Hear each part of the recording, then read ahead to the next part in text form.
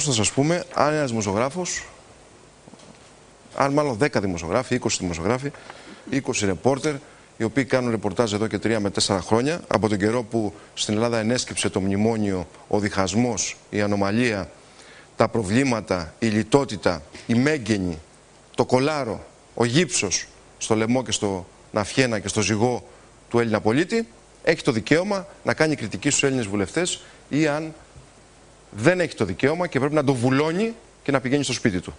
Θα είμαι ιδιαίτερα καυστικός απόψε και ιδιαίτερα οξύς. Γιατί τα θέματα τα οποία έχουμε να χειριστούμε απόψε εδώ με τους συνεργάτες της εκπομπής είναι πάρα μα πάρα πολύ σοβαρά. Κυρίες και κύριοι, ανοίγουμε το φάκελο της υπόθεσης της δολοφονίας του άτυχου 19χρονου Θανάση Καναούτη, ο οποίος εξέπνευσε πέφτοντας υπό αδιευκρίνησε ακόμα συνθήκες. Μια υπόθεση που πάνε να την ξεχάσουν και να την κουκουλώσουν Θυμάστε τι έγινε στο Περιστέρι στις 13 Αυγούστου το απόγευμα. Ήμασταν εκεί, τα καταγράψαμε. Η εξουσία έχει μεγάλα ποδάρια. Το ψέμα όμως έχει πολύ κοντά ποδάρια. Και η εξουσία έχει και μεγάλα χέρια για να μπορεί να θεωρεί ότι μπορεί να αντιμετωπίσει και να κατευθύνει αυτή την υπόθεση. Σκοτώθηκε ένα παιδί εκεί, 19 ετών, μόλις για 0,50 λεπτά του ευρώ. Για μισό ευρώ σκοτώθηκε ένα παλικάρι. Και κανένας από τότε μέχρι σήμερα δεν έχει διαφερθεί για αυτή την υπόθεση. Την ανοίγουμε λοιπόν απόψε και βγάζουμε μια πολύ σημαντική πληροφορία, η οποία προέρχεται μέσα από την πραγματογνωμοσύνη, την οποία κατά τις πληροφορίες τις δικές μας θα φέρει στη δημοσιότητα μέσα σε λίγες εβδομάδες ο άνθρωπος που έχει οριστεί ως τεχνικός υπεύθυνος της οικογένειας Καναούτη. Σας δίνω την είδηση. Και η είδηση λέει το εξής. Και θα τα δούμε σε λίγο όλα αυτά. Και γιατί επιμένω στο θέμα. Γιατί είναι 19 χρονών, ήταν 19 χρονών παιδί ο Θανάσης. Και μπήκε σε ένα λεωφορείο για να πάει στο σπίτι του. Τον στριμώξανε και τον σκότωσαν. Και το είχα πει από την πρώτη μέρα. Και φαίνεται, κατά τις πληροφορίες που έχουμε, χωρίς να μπαίνουμε στην ανακριτική, στην προανακριτική διαδικασία, γιατί ακόμα δεν υφίσταται καν αυτή η διαδικασία. Είναι ακόμα στο στάδιο της προκατακτικής εξέτασης. Ψάχνουν τρεις μήνες τι έγινε εκεί. Η πληροφορία λοιπόν που δίνουμε είναι ότι το παιδί στριμώχτηκε με την πλάτη στην ε, πόρτα του λεωφορείου, τη Μεσαία. Η πόρτα άνοιξε, αλλά κάποιος πάτησε το κουμπί για να ανοίξει την πόρτα. Έφυγε το παιδί πίσω, σπροχνόμενο από τον ελεχτή, ο οποίος προσπαθούσε να του σκίσει τη φανέλα. Τα ξεχάσαμε όλα αυτά. Και έπεσε με το πίσω μέρος του κεφαλιού στο πεζοδρόμιο και σκοτώθηκε. Δεν υπάρχει ούτε μία αμυχή, δεν υπήρχε ούτε μία αμυχή στο σώμα του άτυχου Θανάση Καναούτη ενός από τα θύματα, ένα ακόμα θύμα αυτής της βρωμερής, τρισάθλιας και πρόστιχης εξουσίας. Και βάζω και μερικά κόμματα της αντιπολίτευσης μέσα εκεί πέρα. Βάζω και μερικά κόμματα της αντιπολίτευσης εκεί. Και θα τα συζητήσουμε απόψε. Μια χαρούλα θα τα πούμε. Πότε με ήπιους τόνους, πότε με οξύς. Πότε στο καρφί, πότε στο πέταλο. Είναι το παιδί που βλέπουμε, η φυσιογνωμία που δεν θα ξεχάσει ποτέ κανένας Έλληνας πολίτης που έχει συνείδηση και έχει παιδιά και οικογένεια για να ζήσει. Έφυγε ένας νέος άνθρωπος που τον σκότωσε το μακρύ χέρι της εξουσίας. Τι έκαναν οι αγγελικές αρχές από τότε μέχρι σήμερα; Τι έχει γίνει με την προκατακτική εξέταση; Που έχουν χώσει τους φακέλους; Τι έχει κάνει η τροχέα; Κάποιος σκότωσε το παιδί; Το πάμε από την πρώτη στιγμή. Δεύτερο θέμα. Ένας δήμαρχος χθες το βράδυ μου είπε ψέματα και τον πιάσαμε απόψε να λέει ψέματα. Πρόκειται για τον κύριο Σαράντη, τον δήμαρχο Καματερού. Δύο μεγάλες εργολαβικές εταιρείες. Ο Άκτορας και ο Μοχλός. Οι μεγαλύτερες στην Ελλάδα. Αλλά έλαβαν να χτίσουν το γεφύρι της Άρτα στο Καματερό. Έριξε μια νεροποντή και γκρεμίστηκε ο δρόμος. Δέκα μέρες πριν, στο ντοκουμέντο που θα παρουσιάσουμε σε λίγο, ποιοι λέτε ότι ήταν φιλαράκια και κόβανε τις κορδέλες του μεγαλόπνου έργου των 83 εκατομμυρίων ευρώ από τα προγράμματα του ΕΣΠΑ; Θα σας πω εγώ ποιος ήταν. Ο δήμαρχος που βγήκε σαν τώρα για και μου μιξόκλεγε στο δελτίο του κυρίου Παυλόπουλου, στο έξτρα, με τον κύριο Χρυσοχοίδη και κόβαν τις κορδέλες. Και ο δρόμος μετά από 10 μέρες βυθίστηκε. Και γιατί κόβαν τις κορδέλες; Κόβαν τις κορδέλες στις 30 Οκτωβρίου. Ένα ακόμα σκάνδαλο που τολμά να βγάλει αυτή η εκπομπή για την ανάπτυξη και για την φροντίδα για να μην πέσει ο δρόμος. Κόβαν τις κορδέλες, οι Πασόκοι δήμαρχοι, τα συνεταιράκια Το 3% με το οποίο κυβερνάει ο κ. Σαμαράς. Και 10 μέρες αργότερα, αφού κόψαν τις κορδέλες, κάνανε ευχολόγια και αγιασμούς, σφάξαν και τον κόκορα και τον ρίξαν στα θεμέλια. 10 μέρες μετά έπεσε ο δρόμος. Ρωτάμε τον κύριο Σαράτη, τον δήμαρχο, τον ενωμένο δήμαρχο του καλλικρατικού, του, του καλλικρατικού δήμου Καματερού και Αγίων Αναργύρων. Δήμαρχε είσαι εδώ εσύ με το Χρυσοχοίδη ή μας γελούν τα μάτια μας γιατί χθες τον κύριο Παυλόπουλο στο αποκαλυπτικό δελτίο άλλα μας έλεγες. Βγήκες και μου κάνεις την κακομήρα τη γριά. Λέγοντάς μου εμείς τους είχαμε καταγγείλει από το καλοκαίρι Ποιο καλοκαίρι τους είχες καταγγείλει, αφού πριν από 10 μέρες ήσουν ακόλος και βρακή με το Χρυσοχοίδη. Άρα, ποιο κοροϊδεύεται εκεί πέρα, την κοινωνία, το κοσμάκι που μπήκαν τα νερά στα υπόγεια και στα ισόγεια του σπιτιού του και το καταστρέψανε. Σε λίγο. Όπως σε λίγο θα μιλήσουμε και για την Ολυμπία Οδό. Για τα δισεκατομμύρια ευρώ που δόθηκαν από το ελληνικό δημόσιο, την Ευρωπαϊκή Ένωση και τις τράπεζες και οι εργολάβοι κάνουν τις σιγανοπαπαδιέ εκεί πέρα. Και απόψε ακούσαμε τη δήλωση του κ. Ξοχοίδη ότι δεν πρόκειται, λέει, δεν πρόκειται να περάσει. Άφησε το, αφήστε το, δεν πειράζει. Δεν πρόκειται να περάσει, λέει, ο δρόμος από πύργο τσακώνα. Θα φτάσει μέχρι την Πάτρα και αν. Δηλαδή θα σκοτωθούν ακόμα δεκάδες, εκατοντάδες ανθρώπων ψυχών. Αλλά και αυτούς οι ψυχές δεν μετράνε. Για να φτάσεις από την Αθήνα στην Πάτρα και εκεί θα σταματήσει το μεγαλόπνο έργο της Ολυμπίας Οδού. Πύργο τσακώνα δεν έχει. Γιατί, γιατί αυτοί είναι μούλοι. Και κάηκαν και εξοντώθηκαν και τους έκαψαν και τους σκότωσαν και φάγανε και τα λεφτά των πυροπλήκτων. Αλλά και αυτά τσιμουδιά από κανέναν. Τσιμουδιά από κανέναν. Μην τυχόν και θίξουμε κανένα μεγάλο συμφέρον κανενός καναλάρχη, εκδότη ή πολιτικού. Ε, ναι. Μια εκπομπή θα τα πει αυτά. Κυρίες και κύριοι, να καλησπερίσω. Έχουμε πολλά θέματα ακόμα να σχολιάσουμε. Τους ανθρώπους που έχουμε εδώ κοντά μας. Από δεξιά μου ο κύριος Παύλος Αράκης. Σας καλησπέριζω τον ε, γνωστό πολιτικολόγο. Καλησπέρα κύριε Χιό, καλησπέρα, και στους τηλεφωνικού. Ευχαριστώ για την παρουσία σας. Αριστερά, ο κύριος Αποστόλου. Καλησπέρα, Και δίπλα του ο κύριος Κυριάκος Τόμπρα, ε, πολιτικός αναλυτής και οικονομολόγος. Έχουμε πολλά να συζητήσουμε απόψε. Βάζουμε και εσεί το ερώτημα στον κόσμο και το θέτουμε από τώρα και θέλουμε την άποψή σας ναι ή όχι. Γιατί είναι ένα θέμα που έχει προκύψει και πρέπει να το συζητήσουμε μαζί σας. Εμείς εδώ πέρα θέλουμε όλα να τα συζητάμε μαζί σας. Δεν σας κρύβουμε τίποτα. Ναι ή όχι στη συνεργασία των ανεξαρτήτων Ελλήνων με το ΣΥΡΙΖΑ. Θέλουμε την παρουσία σας στο 60-95-520 να ακούσουμε τις απόψεις μας, τις απόψεις σας. Θα ακούσετε και τις δικές μας απόψεις. Στο 6946 35 77 33 το τηλέφωνο καταγγελίων που χρησιμοποιείται μόνο για καταγγελίες και στο mail μακελιό.gmail.com δεχόμαστε τα μηνύματά σας για να τα διαβάσουμε καθ' όλη τη διάρκεια της εκπομπής. Στο στούντιο 2 καλησπερίζω τον εκλεκτό όπως έχει γίνει συνάδελφο, τον κύριο Γιάννη Ταραβίκα. Καλησπέρα Γιάννη. Καλησπέρα. Το καινούργιο κόμμα όπως αναφέρεις και εδώ από τη συνεργασία Ανέλ ΣΥΡΙΖΑ λέγεται Σανέλ.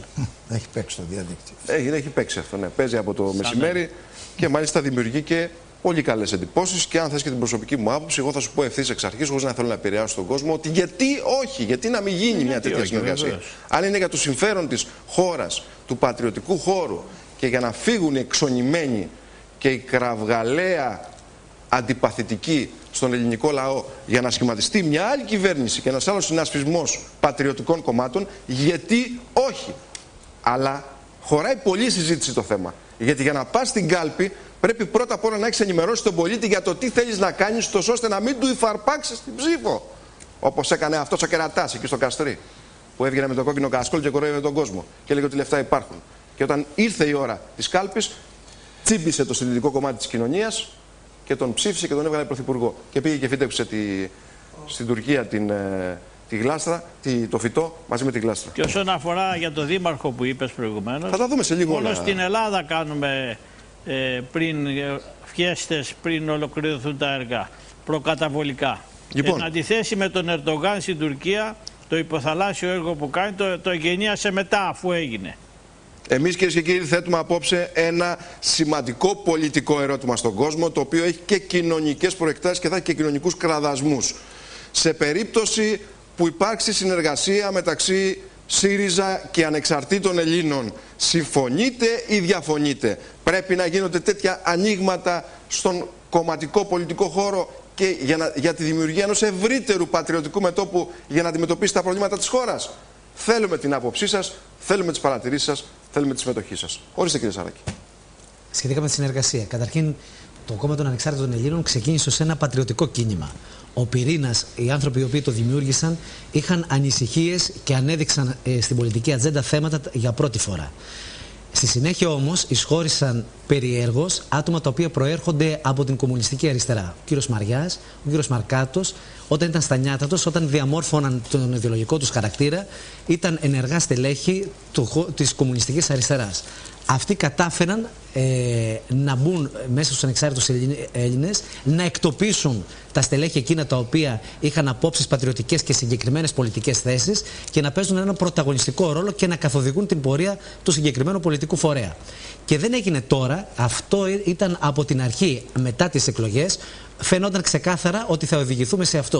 Ο κ. Μαριάς δεν είναι τυχαίο, είναι ο κοινοβουλευτικός εκπρόσωπος των ανεξάρτητων Ελλήνων. Είναι γνωστές οι σχέσεις που έχει με την αριστερά και είναι γνωστό ότι, αν όπως λέει ο Αλέξης Μητρόπουλος, ότι είναι το Πασόκ στο ΣΥΡΙΖΑ, είναι η αριστερά στους ανεξάρτητους Έλληνες.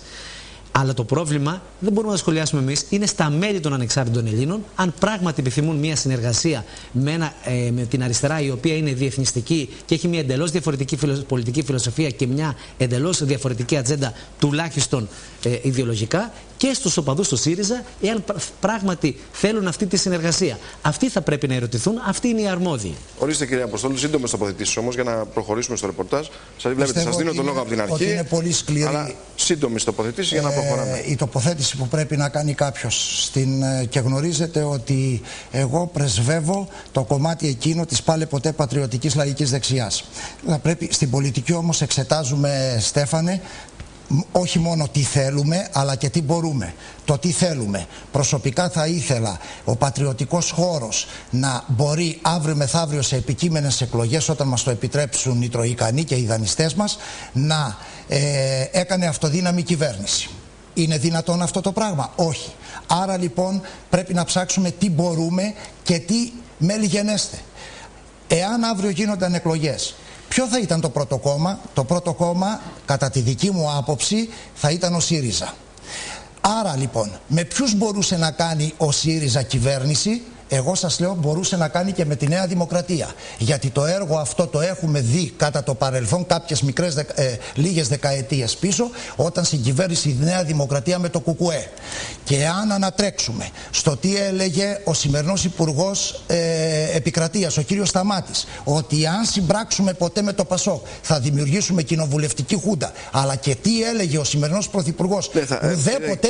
λοιπόν, Ξέρετε γιατί εγώ Άρα λοιπόν, όχι, πρέπει, πρέπει, που, πρέπει, πρέπει να τοποθετηθώ έτσι, γιατί, εγώ, γιατί είναι υπερβατική η ναι, τοποθέτησή μου στο ερώτημά σας. Θέλω, θέλω να, να πούμε συγκεκριμένα Αμέσως. θα αλλάξει η ζωή του κόσμου. Βεβαιότατα. Αυτό ενδιαφέρει τον Ακούστε κόσμο. Με, λοιπόν. Δεν τον ενδιαφέρουν οι πολιτικοί λοιπόν, συσχετισμοί και το αν οι τάσεις. Λέω λοιπόν. Θα αλλάξει η ζωή του κόσμου. Θα επιτρέψουμε να γίνει μια κυβέρνηση ΣΥΡΙΖΑ Νέας Δημοκρατίας αύριο μεθαύριο; Όχι. Τι μπορούσε να γίνει; Μπορούσε θα μπορούσαν η ΑΝΕΛ να είναι ένα κόμμα του 15-20%, δηλαδή ένα διπλάσιο Μα ποσοστό. Μα οι δημοσκοπήσεις 4 τους δείχνουν. Μισό λεπτό θα μπορούσε, λέω, ε, Γιατί δεν μπορεί; να συνεργαστεί και Γιατί να παίξει ισότιμο ρόλο σε μια αυριανή κυβέρνηση με το ΣΥΡΙΖΑ. Γιατί δεν μπορεί; Από εκεί και μετά, άπτεται το ερώτημά σας. Μα κάνουμε, και δια... μέσα... να κάνουμε, και μέσα... διάλογο. Δεν κάνετε εισήγηση στην Βουλή. μέσα Εκεί διαφωνόμαστε. Στις συζητήσεις.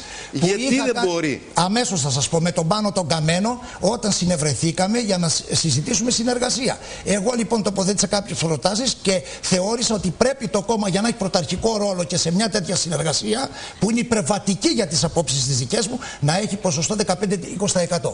Δεν θα πω γιατί διαφώνησα. Τα ποσοστά όμως δείχνουν ότι οι ΑΝΕΛ βρίσκονται στο 3-4-5%. Και με το μυαλό που έχουν θα πάνε ακόμη Ακο, Ακριβώς, εάν δεν αλλάξουν ερώτα. Έτσι λοιπόν, μια συνεργασία που θα τη θεωρούσα απόλυτα φυσιολογική για να μπορέσουμε να πλήξουμε το ΣΥΡΙΖΑ, συμμετοχή των ΑΝΕΛ εννοώ, εκεί όπου θεωρεί ότι πονάει η κοινωνία και δυστυχώς δεν το καταλαβαίνουν, λαθραλαγνία, εθνικά θέματα και στα θέματα της Εκκλησίας θα μπορούσαν δυνατοί ανεξάρτητοι Έλληνες να βάλουν δικλείδε ασφαλείας. Αλλά δεν διαφωνείτε με την προοπτική αυτή. Θα το ήθελα, σας λέω και πάλι, από ένα κόμμα πατριωτικό το οποίο θα μπορούσε να παίξει ισότιμο ρόλο με το ΣΥΡΙΖΑ και όχι να ήταν η ουρά του ΣΥΡΙΖΑ. Σε αυτή την περίπτωση είμαι αντίθετος. Μάλιστα. Κύριε Τόμπρα, και εσείς λίγο. Λοιπόν, να σας πω δύο κουβέντες ω έχοντας. διαβάσω εγώ λίγο τα μηνύματα του κόσμου. Ναι, ω έχοντας γνώση του εσωτερικού κόσμου των ΑΝΕΛ και της ανθρωπογεωγραφίας του κινήματος. Ε, θα σας πω το εξής. Καταρχήν δεν θα σταθώ σε αυτό που είπε ο κύριος Σαράκης ότι Μαριάς και Μαρκάτος εκφράζουν τον κομμουνισμό άρα δεν έχουν θέση στους ανεξάρτητους Έλληνες ή σε ένα, σε ένα κόμμα ε, του κέντρου ή του πατριωτικού χώρου γιατί Αντίστοιχα φαινόμενα έχουμε στη Νέα Δημοκρατία, όπου ο κύριος Βορύδης και ο κύριος Γεωργιάδης από την ακροδεξιά περάσανε καθίσει στο κέντρο. Το θέμα ο, είναι ο, ο κόσμος μεταλλάσσεται και μετεξελίσσεται. Θα αλλάξει η ζωή του κόσμου. Ναι, θα σα αφήστε με να σας πω. Δώστε με ένα λεπτό και εμένα. Δώστε με να το δηλαδή, εξηγήσω. Ποιο είναι το θέμα, Υπάρχει εναλλακτική πρόταση κυβέρνησης ή αυτοί οι άνθρωποι είναι αναγκαία απαραίτητη γιατί δεν υπάρχουν άλλοι καλύτεροι. Την εναλλακτική πρόταση ε, εναλλακτική από αυτούς υπάρχουν χιλιάδες. Οι άνθρωποι που μας κυβερνάνε σήμερα είναι παντελώς άχρηστοι. Δεν μπορούν να κυβερνήσουν. Δηλαδή, καλύτεροι από αυτούς είναι όλοι οι Έλληνες, για να πούμε τα πράγματα με το όνομά τους. Πάμε όμως τώρα στην ουσία. Το τι θα γίνει, ποιες θα είναι οι μετεκλογικές συνεργασίες, δεν θα το πούμε ούτε εμείς σε αυτό το τραπέζι, ούτε κάποια άλλη εκπομπή. Θα το πει ο λαό με την ψήφο του όποτε υπάρχουν εκλογέ. Όχι, εδώ διαφωνώ σε αυτό που λέτε. Διότι αν θέλετε την προσωπική μου εκτίμηση, πρέπει να πρώτα πρέπει να πει στο λαό αν συνεργαστεί με του αριστερού ή δεξί με του αριστερού. Αν βγάλει το ΣΥΡΙΖΑ από το δύναμο, θα τεθεί θέμα Πάλι να του υφαρπάξουμε την ψήφο, κύριε Τόμπρα. Λέω... Πάλι να του βουτήξουμε την ψήφο και να τον κοροϊδέψουμε. να είμαστε ειλικρινεί με τον κόσμο. Δεν θα την υφαρπάξουμε εμεί, κύριε. Τι θα την υφαρπάξει. Ο λαό θα ψηφίσει. Πώ θα ψηφίσει ο λαό, άμα του λε ότι τώρα κατεβαίνω μόνο μου και μετά όταν πάρει 3-4 και τσιμπήσεις θα του πεις συνεργάζομαι με το ΣΥΡΙΖΑ και πάμε να σα χορέψουμε στο ταψί. Για μένα λοιπόν το θέμα συνεργασίας ανεξάρτητα των Ελλήνων και ΣΥΡΙΖΑ είναι τεχνικά αδύνατο να συμβεί. Και θα σας εξηγήσω το γιατί. γιατί; Επικεντρώνονται μόνο στο θέμα των διαφορών σε εθνικά θέματα. Νομίζετε εσείς ότι οι διαφορές του ΣΥΡΙΖΑ και των ανεξάρτητων Ελλήνων είναι μόνο σε εθνικά θέματα; Υπάρχει βαθιά ιδεολογική διαφορά στα δύο κόμματα και υπάρχουν τεράστιες διαφορές στο οικονομικό τους πρόγραμμα. Δηλαδή, εάν δεν μπορούν να συμφωνήσουν σε εθνικά δεν μπορούν να συμφωνήσουν στα ιδεολογικά και δεν μπορούν να συμφωνήσουν στα οικονομικά. Πώς θα συνεργαστούν, κύριε Χίο; Συνέπραξαν κουκουέ δεν μπορούν και να συνεργαστούν. Κάποτε, ναι, και τι κάνανε; Που έχουν τεράστιες και τι κάνανε; Νομιμοποίησανε τις συμβάσεις της Siemens για τα ψηφιακά. Γι' αυτό συμπράξανε. Συμπράξανε για να πάρουν επίθεση από τη Siemens. Συμφωνώ λοιπόν, απολύτως. Άρα λοιπόν τι να επαναλάβουμε ένα τέτοιο παράδειγμα; Μισό λεπτό. Θα πρέπει να ξέρει ο ελληνικός λαός. Ακριβώς. Ακριβώς, κύριε Αποστόλου. Πρέπει να ξέρει ο ελληνικός λαός. Όχι πλέον άλλη Όχι κοροϊδία. Όχι επεγμός. Ξέρετε τι μου λένε εδώ πέρα οι άνθρωποι, κύριε Τόμπρα. Είναι αδύνατο να συνεργαστούν ΣΥΡΙΖΑ και ανεξάρτητοι Γιατί είναι τεχνικά αδύνατο. Γιατί δεν συμφωνούν δεν είναι τεχνικά αδύνατο. Τα γένια βγαίνουν. Όχι, κύριε Βγαίνουν, αφήστε που σας λέω. Δεν είναι τεχνικά αδύνατο για ένα και μόνο λόγο. Μωρέ, το πολύ τεχνικά δυνατό είναι. Δεν συμμετείχαν στις κυβερνήσεις αυτές που διέλυσαν την Ελλάδα. Μπορεί ο Πάνος ο Καμένος να ήταν στις κυβερνήσεις της Νέας Δημοκρατίας, έτσι; Όμως σε, αυτό, σε αυτή την αφέμαξη μισθών, συντάξεων, του πλούτου των Ελλήνων, ιδιωτικό πλούτο, δημόσιο πλούτο, συμμετείχαν μόνο τα μνημονιακά κόμματα που κυβερνούσαν από το 1974 Είναι αντιπολιτευτικό. Για να κυβερνήσεις αύριο το πρωί πρέπει να πεις στην οικονομία θα κάνω αυτά. Με τις επιχειρήσεις πρέπει να ιδιωτικοποιηθούν, θα κάνω αυτά. Με τις τράπεζες θα κάνω αυτά. Με την τράπεζα της Ελλάδας θα κάνω αυτά. αυτά Μα σε τίποτα δεν συμφωνούν οι ανεξάρτητοι Έλληνες ναι. με το ΣΥΡΙΖΑ στα σημεία τα συγκεκριμένα. Πώς θα συνεργαστούν, πώς θα κυβερνήσουν, είναι αδύνατο. Και όταν δύο εταιρείες. δεν ακούγεσαι, κάνεις συνέχεια το ίδιο λάθος. Άσου να τελειώσουν και μετά μιλάς. Τι φοβάσαι, μην το ξεχάσεις. Πρέπει να κάνουμε δεήσεις για να τελειώσουν. Και όταν δύο εταιρείες κάνουν Καλά λέει τώρα εδώ πέρα. Καλά λέει τώρα. Γιάννη, Αλλά μου επιτρέπεις δεν τον αφήσαμε τον κύριο. Να και να μιλήσω κύριο Στόμπερ. Εγώ δεν διάκοψα κανένα. Λοιπόν, Άρα λοιπόν. Κύριε Τόμπρα, τώρα είπαμε σαφέστατο και σε όλο τον κόσμο. Για μένα είναι. Και θέλω να του κόψω τηλέφωνα. θα αλλάξει η ζωή μας αν συνεργαστούν οι άλλοι με το ΣΥΡΙΖΑ, αν ο ΣΥΡΙΖΑ βγει από το κόμμα. Εδώ είναι το ερώτημα. Αρκεί Υπάρχει εναλλακτική μορφή έτσι. Αρκεί να φύγει αυτή η κυβέρνηση. Αρκεί να φύγει αυτή η κυβέρνηση, όποιος και να έρθει μετά, η ζωή μας θα αλλάξει προς το καλύτερο. Ακόμα και ο Δημοσθένης Βεργής. Μάλιστα. Ορίστε κύριε Βεργή, λοιπόν, κύριε το εξής, ότι τα κουκιά και με τους δύο, αν συμπράξουν δεν βγαίνουν. Πρέπει να βρεθεί τρίτο κόμμα. Ποιος θα είναι ο τρίτος; Εδώ είναι το θέμα. Ποιος θα είναι ο τρίτος; Γιατί ξέρουμε τι θα βγάλει η κάλπη, κύριε Δαραβίκα. Μα γι' αυτό λέω ακόμα δεν ξέρουμε. Γι' αυτό, Γιάννη, γι αυτό Γιάννη μίλησα με προϋποθέσεις εάν οι ανεξάρτητοι Έλληνες ήταν μια δύναμη της τάξης του 15-20% τότε θα μπορούσαν ως ισότιμο ήταν, μέλος ναι. μαζί Άμα με το ΣΥΡΙΖΑ. Ναι, αλλά δεν είναι. Γιατί Μάλιστα. είναι δύο αντιμνημονιακά κόμματα και μπορούσαν να τα βρουν. Το, δεν φτάνει το αντιμνημονιακό. Χρειάζεται μια κοινή βάση για να συνεργαστεί. Επαναλαμβάνω ο ΣΥΡΙΖΑ, θέλει, ο ΣΥΡΙΖΑ θέλει να τρελάνει όλε τι επιχειρήσει στη φορολογία και ο Καμένος μιλάει για μείωση φορολογικών συντελεστών. Ο ΣΥΡΙΖΑ θέλει να διορίσει στο δημόσιο άλλο ένα εκατομμύριο Έλληνες και ο Καμένος μιλάει για ιδιωτική πρωτοβουλία. Και δεν σου έχω κουμπίσει καθόλου εθνικά θέματα. Πώ αυτά τα πράγματα μπορούν να συγκεραστούν και να κυβερνήσουν, να συγκυβερνήσουν και να συγκλίνουν σε ένα κοινό πρόγραμμα; Είναι τεχνικά αδύνατο. Με Διαβάστε τα προγράμματα τους. Για πάμε λίγο να δούμε. Δεν φτάνει το αντιμνημόνιο. Για πάμε λίγο να δούμε δεν φτάνει το και τη λογική που διαπνέει και διακατέχει μερικά στελέχη των ανεξαρτήτων Ελλήνων. Κυρίες και κύριοι, χθες το βράδυ,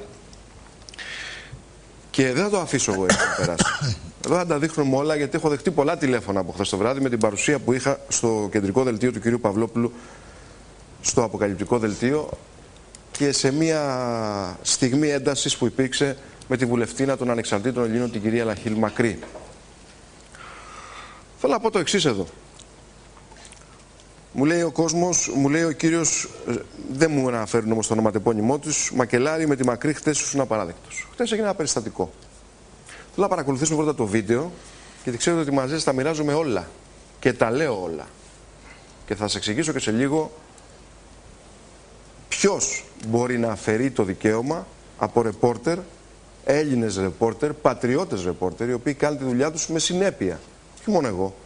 Μπορεί να την κάνω, μην την κάνω με συνέπεια, μπορεί να την κάνω με ασυνέπεια, ή μπορεί να είμαι ψεύτης απέναντι στον κόσμο. Ή μπορεί να χρηματίζομαι, όπως είπε η κυρία, η κυρία Μακρύ. Η κυρία Μακρύ χτες ισχυρίστηκε ότι ο Χίος παίρνει χρήματα από τον κύριο Μουρούτη της Νέας Δημοκρατίας για να χτυπάει τους ανεξάρτητους Έλληνες για να μην συμμαχίσουν με το ΣΥΡΙΖΑ.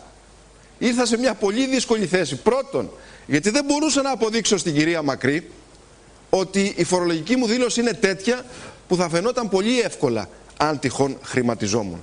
Και κατά δεύτερον, διότι θα μπορούσα να αποδείξω πολύ εύκολα στην κυρία Μακρύ κυρίαρχο μέλος των ανεξαρτήτων Ελλήνων και φίλοι και συνεργάτηδα του κυρίου Καμένου, να τους χαίρεσετε τους συνεργάτες κύριε Καμένε, όταν καθιβρίζουν Έλληνες δημοσιογράφους, ρεπόρτερ του μεροκάματου, λέγοντάς τους ότι τα έχουν πάρει από τη Νέα Δημοκρατία. Γιατί, Γιατί ο αντιμνημονιακός χίος που κράτησε με συνέπεια αυτή τη σημαία του αντιμνημονίου, που έχει γίνει και γραφική αυτή η κατάσταση μνημονίου-αντιμνημονίου, τόλμησε ποιος ο παρακατιανός ρεπόρτερ να αντιταχθεί απέναντι στον ισχυρό Έλληνα βουλευτή των 8.000 ευρώ και να του πει ότι ανέβη, ανεβαίνοντας στην ΕΡΤ στα κάγκελα με το ξυλωμένο παντελόνι και φτιάχνοντας και λίγο το μαλλί γιατί ε, πώς θα γίνει. Πρέπει να είμαστε και επαναστάτες αλλά μην φύγει και καμιά τρίχα και να πούνε αύριο το πρωί στο χωριό που ψηφίζουν την οποιαδήποτε κυρία Μακρύ ήσουν καταπληκτική πάνω στα κάγκελα και είχες ένα μαλάκι τρέλα, τρέλα μαλάκι. Ορίστε το βίντεο. Εγώ ολοκλήρωσα τη δική μου ομιλία και την τοποθέτησή μου ε, την Παρασκευή και κλήθηκα, ήμουνα την επόμενη μέρα πάλι μέσα στο Ελληνικό Κοινοβούλιο όπως συνηθίζω και κλήθηκα από την ΕΡΤ, από τους εργαζόμενους γιατί υπήρχε καταγγελία και πήγα εκεί που θεώρησα ε, για αυτό που θεώρησα να πάω. Όπως τα έκανα για οποιαδήποτε κοινωνική ομάδα αν με καλούσαν. Κυρία Αδάμ, παρουσιάζεται τώρα και το πρόσωπο της θυματοποίησης. Κυρία Αδάμ, Μακρύ με 8.000 ευρώ στην τσέπη. Ήταν τόσο άδειο τώρα, κύριε το δηλαδή, Τι πάθατε, σας έχουν πληρώσει. Συγγνώμη, τι πάθατε; Εσάς σα πληρώνουμε εμείς. Ψεύδια, σύστολα. 8.000 ευρώ στην τσέπη. Και θα προσέχετε πώς μου μιλάτε. Εσείς θα προσέχετε πώς μου μιλάτε. Ήρθα εδώ και ήσασταν. Φαίνεστε ότι είσαστε Είστε εντεταλμένο. Να αποδειχθείτε. Και λέτε ψεύδι. 8.000 ευρώ το μήνα παίρνετε από μένα. Από μένα. 8.000 φέρτε τα, αποδείξτε Και από το κοσμάκι που είπε ο κύριος. Για όνομα του Θεού. Καταλάβατε; Θα προσέχετε πώς μιλάτε. Πηγαίνετε λοιπόν. να κατέβετε στις εκλογές να σας ψηφίσουν. Έχετε γίνει οι αβέρινε να πούμε της πολιτικής ζωής. Τι πρόβλημα έχετε; έχετε; Σας έχουν πληρώσει από την με δημοκρατία. Με στην τσέπη. Από πού σας πληρώσατε. Εσάς ποιος σας πληρώνει; Εσείς από πού πληρώνετε. Εσείς πληρώνετε Έχετε να με κατηγορήσετε για κάποια αξιόπινη πράξη, κύριε Χιό. Κατηγορήστε με λοιπόν. Αλλά η θυματοποίηση αυτή. Κατηγορήστε με. Έχω κλέψει. Πειράζει την αισθητική μου. Έχω κλέψει. Πειράζει την αισθητική μου. Και επειδή πειράζει την αισθητική ναι. σας, μπορείτε εσείς να λέτε ψεύδι εναντίον μου. Μπορείτε να λέτε ψεύδι εναντίον μου. Πείτε μου. Πείτε μου ποιος είναι ο μισθός μου ακριβώς και αν τον κλέβω. Ποιος με πληρώνει εμένα. Δεν με ενδιαφέρει. Ποιος με πληρώνει Εγώ εμένα; κατέβηκα και έχω εκλεγεί. Εμένα ποιος με πληρώνει; ένα μισθός εκλεγμένη βουλευτής. Ποιος με πληρώνει και εμένα; Δεν έχει νόημα αυτό. Πάρτε το πίσω. Πάρτε το πίσω. Εσείς θα τα πάρετε πίσω. Εσείς θα τα πάρετε γιατί δείχνετε στον κόσμο ποιος είστε επιτέλους; Αποκαλύφθηκε. Αποκαλύφθηκε από την άναδρη επίθεση που κάνετε στο πρόσωπο. Επιστρέφουμε για, για λίγα λεπτά ακόμη. Η κυρία Μακρύ αποχώρησε από την ε, συζήτηση γιατί πήρε άλλη τροπή, πήρε, οδηγήθηκε σε ένταση που δεν έπρεπε να, να υπάρχει και κακός η κυρία Μακρύ κατά τη γνώμη μου ανέδωσε έτσι. Εν πάση περιπτώσει. Να καλησπερίσω και τον κύριο Μιχάλη Βάρδα, μηχανολόγο, ε, ε, ε, μηχανικό ή ηλεκτρολόγο μηχανικό, για να μην τα μπερδεύω. Μηχανολόγος. Μηχανολόγος μηχανικός. Α, κύριε Βάρδα, θα έχετε απόψε πολλά μας πείτε για το καματέρο. Λοιπόν, κυρίες και κύριοι, θέλω να είμαι πολύ ειλικρινής μαζί σας. Ποιος με πληρώνει λοιπόν, ορίστε. Βγείτε και, πείτε ότι, βγείτε και πείτε μου ό,τι θέλετε. Γιατί 23 ολόκληρα χρόνια το πρώτο πράγμα πρόσεξε σε αυτή τη ζωή είναι να μην τα αρπάξω ποτέ. Και δεν μπορεί κανένα μέλος του Ελληνικού Κοινοβουλίου να δημόσια, γιατί έχω και εγώ τις ευθυξίες μου και τα λεπτά κουμπιά μου, να μου πει ότι πληρώνω, γιατί τόλμησα, ακούστε, και μιλάω πολύ ήπια απέναντι στην κυρία Μακρύ και την προσκαλέσαμε και στην εκπομπή απόψε την κυρία Μακρύ. Ο κύριος Δαραβίγκας την προσκάλεσε. Θέλω λοιπόν να μου πει ο κόσμος ποιος με πληρώνει. Και να αποδείξει και η κυρία Μακρύ ότι πληρώνομαι και είμαι τσιράκι του κυρίου Μουρούτη φωνάζοντας στους διαδρόμους του έξτρα για να κάνω πολιτική εναντίον των ανεξαρτήτων Ελλήνων για ποιο λόγο; Για να σταματήσω τη συνεργασία των ΑΝΕΛ με το ΣΥΡΙΖΑ Μα είμαι ικανός εγώ να σταματήσω τη συνεργασία του ΣΥΡΙΖΑ με τους ΑΝΕΛ διαμορφώνοντας την κοινή γνώμη; Γιατί τόλμησε ο ρεπόρτερ να πει ότι προσβάλλει την αισθητική του μια γυναίκα να ψηφοθυρεί πάνω στα κάγκελα της ΕΡΤ κοιτάζοντας μη φύγει και καμιά τρίχα από το ξανθό μεζ μαλλί. Βαμμένο η αυτό, δεν το γνωρίζω, αυτό το ξέρουν καλύτερα οι κυρίες οι οποίες μας παρακολουθούν. Και ρωτώ, είναι εικόνα δύο μέλη του Ελληνικού Κοινοβουλίου, η κυρία Κωνσταντοπούλη και η κυρία Μακρύ, να ψηφοθυρούν στα κάγκελα της ΕΡΤ μοιαζόμενες τάχα για το συμφέρον του εργαζόμενου της ΕΡΤ. Δεν τις πιστεύω κυρίες και κύριοι. Δεν τις πιστεύω. Η πείρα και η δημοσιογραφική μου λογική τα 23 χρόνια που κάνω αυτή τη δουλειά με έχουν πείσει ότι πήγαν εκεί να ψηφοθυρίσουν. Αυτή είναι η προσωπική μου άποψη. Και την εξέφρασα ελεύθερα και αδέσμευτα σε ένα ελεύθερο και αδέσμευτο δελτίο. Και δέχτηκα τη λάσπη ποιος με πληρώνει. Ε, λοιπόν, η δημοκρατία δεν λειτουργεί σωστά έτσι. Διότι η δημοκρατία δεν μπορεί να αλέθει δημοσιογράφους που έχουν σηκώσει τον μπαϊράκι και λένε όχι σε αυτή την κυβέρνηση. Η αυτή η κυβέρνηση προσπαθεί να μας κάνει δούλους, σκλάβους, ήλωτες, να μας πιει και την τελευταία ρανία του αίματος. Όχι. Θα πούμε λοιπόν το όχι μέχρι το τέλος. Μέχρι να κάτσει η πλάτη μας και να βγάλει αγκάθια στον τοίχο. Αλλά δεν έχει κανένα το δικαίωμα να φωνάζει και να λέει ότι πληρωνόμαστε από άνομα συμφέροντα για να χτυπήσουμε ένα πατριωτικό κόμμα όπως είναι η ΑΝΕΛ ή ένα άλλο πατριωτικό κόμμα γιατί εγώ συμφωνώ ότι και το ΣΥΡΙΖΑ είναι πατριωτικό κόμμα. Και θέλω να ακούσω την άποψη του κόσμου γι' αυτό και να διαβάσω και λίγο και τα, και τα μηνύματα που μας έχει στείλει ο κόσμος. Ο κύριος Εφρεμίδης είναι ο πρώτος φίλος ε, τηλεθεάτης. Καλησπέρα αγαπητή κυρία. Ε, καλησπέρα. Σας ακούμε. Ακούγομαι; Βεβαίως. Λοιπόν, συγχαρητήρια για την εκπομπή σας πρώτα. Θα ήθελα να πω για αυτόν τον κύριο Τόμας Μπίσνερ που είπε ότι θα πάει πρώτα για σκι και μετά θα ασχοληθεί με τα θέματα της Ελλάδος. Βεβαίως, λίγο πιο δυνατά αγαπητέ κύριε Φρεμίδη. Ναι, θα ήθελα να πω για τον ναι, κύριο το ακούσαμε αυτό, το ακούσαμε που είπε ότι θα πάει πρώτα για σκι Μάλιστα. και μετά θα ασχοληθεί με τα θέματα της Ελλάδος. Θέλετε να σας αποκαλύψουμε κάτι τώρα; Να σας αποκαλύψω, να τους στείλουμε κι εμείς ένα μήνυματάκι από εδώ. Να τους στείλετε ό,τι θέλετε και θα σας πω κι εγώ σε λίγο κάτι. Ναι, λοιπόν, το δικό μας το μήνυμα είναι ότι εμείς θα πάμε πρώτα να πιούμε φραβεδάκι, μετά θα πάμε για ηλιοθεραπεία, μετά θα πιούμε το ουζάκι μας Μετά θα πάμε στα μπουζούκια Ναι. και το βράδυ όταν θα έχουμε χρόνο μπορεί να ασχοληθούμε με τα Ελάτε κοντά λίγο. δικά τους. Με αυτά που Κύριε μας Φρεμίδη, λένε. σας έχω ένα δώρο. Για πείτε μου. Από το κινητό μου τηλέφωνο. Σας έχω ένα δώρο από το κινητό μου τηλέφωνο.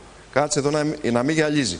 Βλέπετε τον κύριο, όπως τον είπατε, αυτόν, τον, ε, τον ξένο επιτετραμένο; Όχι. Ε, πώς όχι, Το δεν έχετε πίσω. τηλεόραση. Α, ναι, ναι. Το βλέπετε. Ξέρετε ποιος είναι πίσω του εκεί που φαίνεται ο μελαχρινός κύριος, ο Λατίνος που μοιάζει σαν τον Χουάν Ραμόν Ρότσα Μπουμπλί. Όχι. Ο κύριος Παπασταύρου, κύριε, αγαπητέ κύριε Φρεμίδη.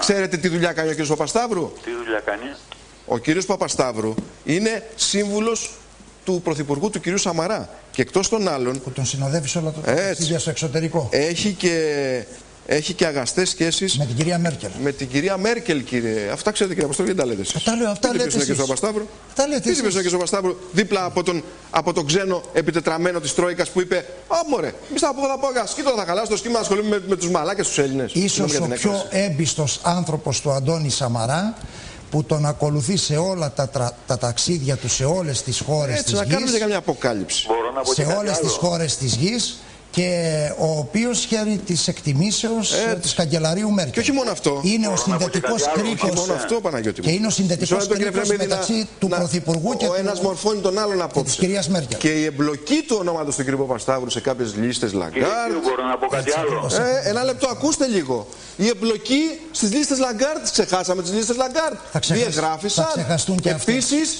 με τον κύριο Σάμπι Μιονί, ε, τον Εβραίο επιχειρηματία, κύριε Τόπρα, εγώ θα τα πω. Ε, μόνο εσείς θα λέτε. Το όμως. γεγονός ότι ακούστηκε Ποιος θα ότι τα ο πει, κύριος το Μέγα; Μιονί ήταν ο αχυράνθρωπος. Για όνομα του Θεού και της Παναγίας να πω εγώ τέτοιο πράγμα. Που έκρυβε τα 500 εκατομμύρια ευρώ της κυρίας Μαργαρίτα Παπανδρέου. Της Βασιλοπούλου. Γεγονός που δεν αποδείχτηκε ποτέ και οι άθλιοι συκοφάντες που τα είπαν. Οι άθλιοι συκοφάντες που τα είπαν. όπως και- Ποια η κυρία Μάργαρετ έχει 500 εκατομμύρια στην τράπεζα που τα βρήκε. Μήπως από την πρίκα που πήρε χωρίζοντας με τον Αντρέα Παπανδρέου είναι ψεύτες αυτοί που τα διαδίδουν.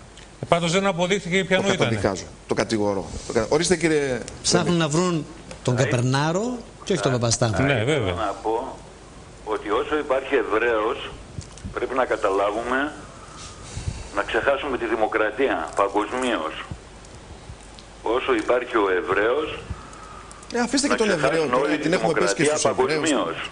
Καλό βράδυ κύριε Φρεμίδη, να είστε καλά. Καλό. Ο κύριος Χριστάκος. Καλησπέρα. Ορίστε κύριε. Καλησπέρα. Με, να με συγχωρείτε για τη φωνή μου. Δεν πειράζει και εμένα κλεισμένη. είναι. Ένα ναι, ένα όχι. Δεν είναι αρκετό τώρα για τη συνεργασία. Οι μεν είναι γυαλατζοί κομμουνιστές, οι δε γυαλατζοί δεξιοί. πριν, χω- πριν ένα χρόνο έριχνα καντήλια στον κύριο Σαράκη για την κολοτούμπα. Αλλά τελικά ο κύριος Σαράκης κάτι είδε εκεί μέσα και την έκανε. Και την έκανε με ελαφρά. Ε, δεν γίνεται τώρα να συνεργαστούμε. Ο Τσίπρας ονειρεύεται 1002.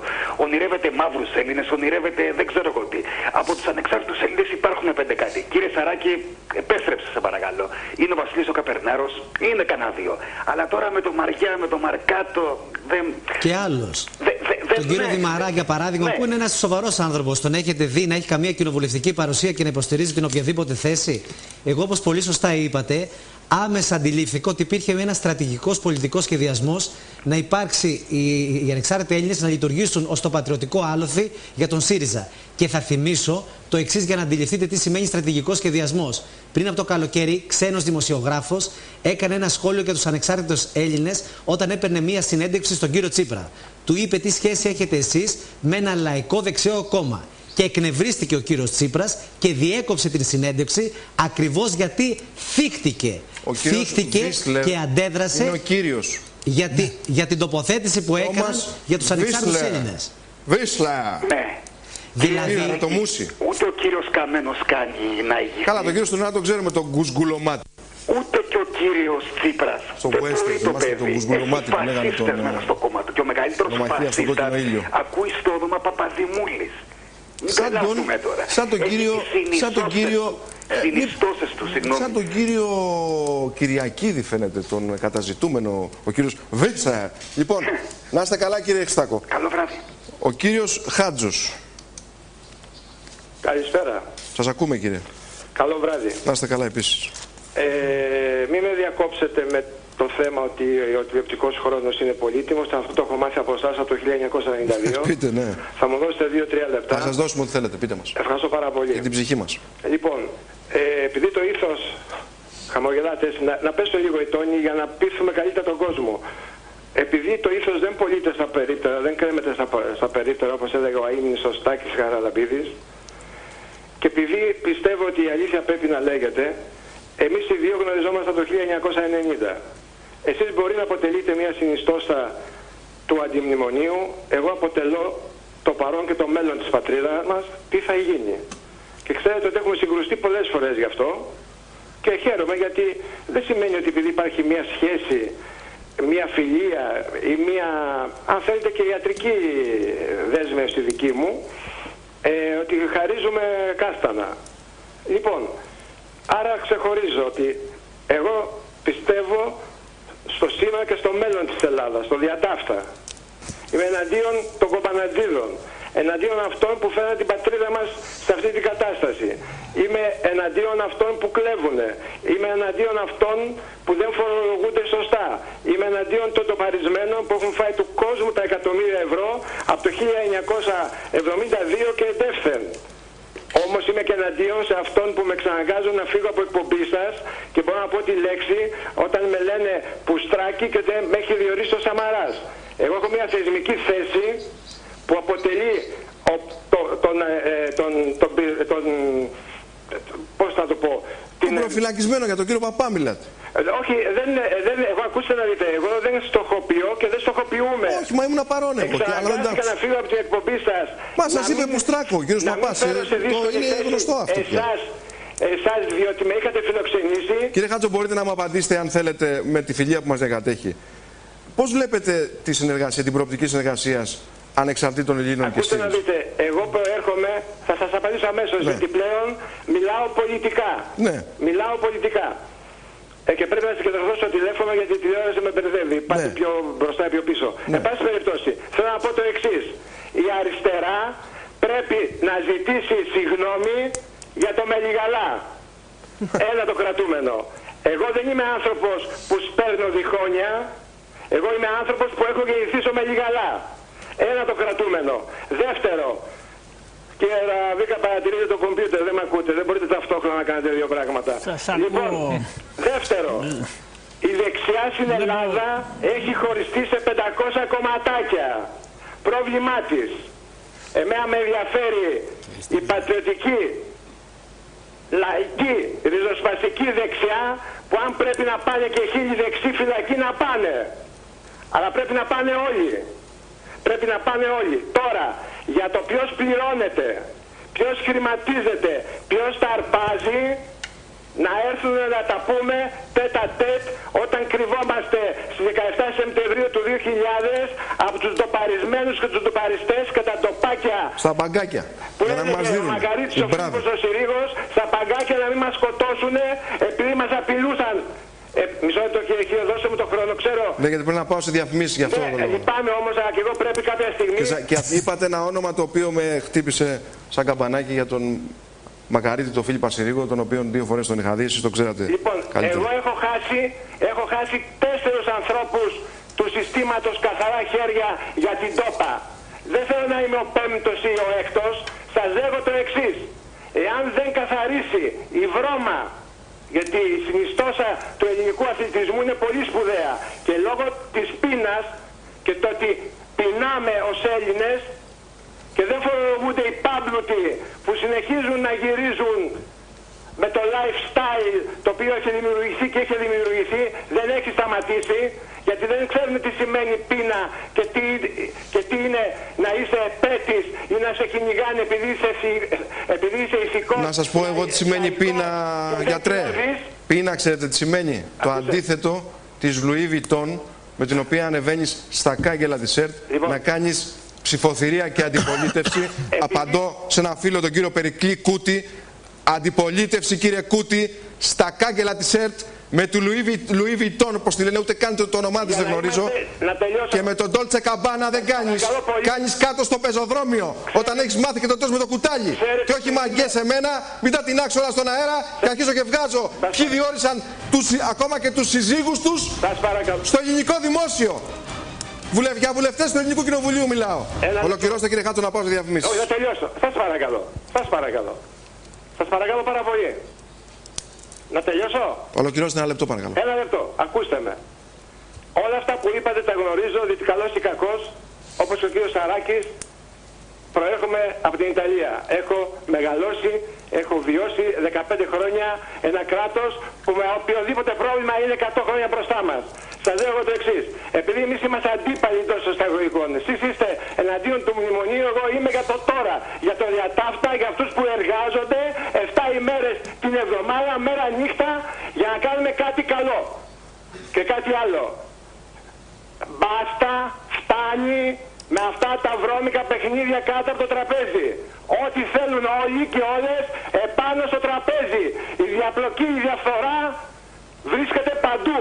Διαπλοκή γιατί διαπλέκονται πολλοί και διαφορά γιατί είναι σπατάλη του δημοσίου χρήματος. Ευχαριστώ πολύ. Κύριε Χάτζο, ευχαριστώ θερμός. Καλό βράδυ.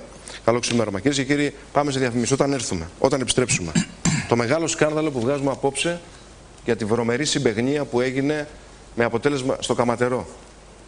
Με τους Πασόκους δήμαρχους και τον κύριο Χρυσοχοίδη που κοροϊδεύανε μια. Ρε αθεόφοβοι. Κοροϊδεύατε μια ολόκληρη κοινωνία.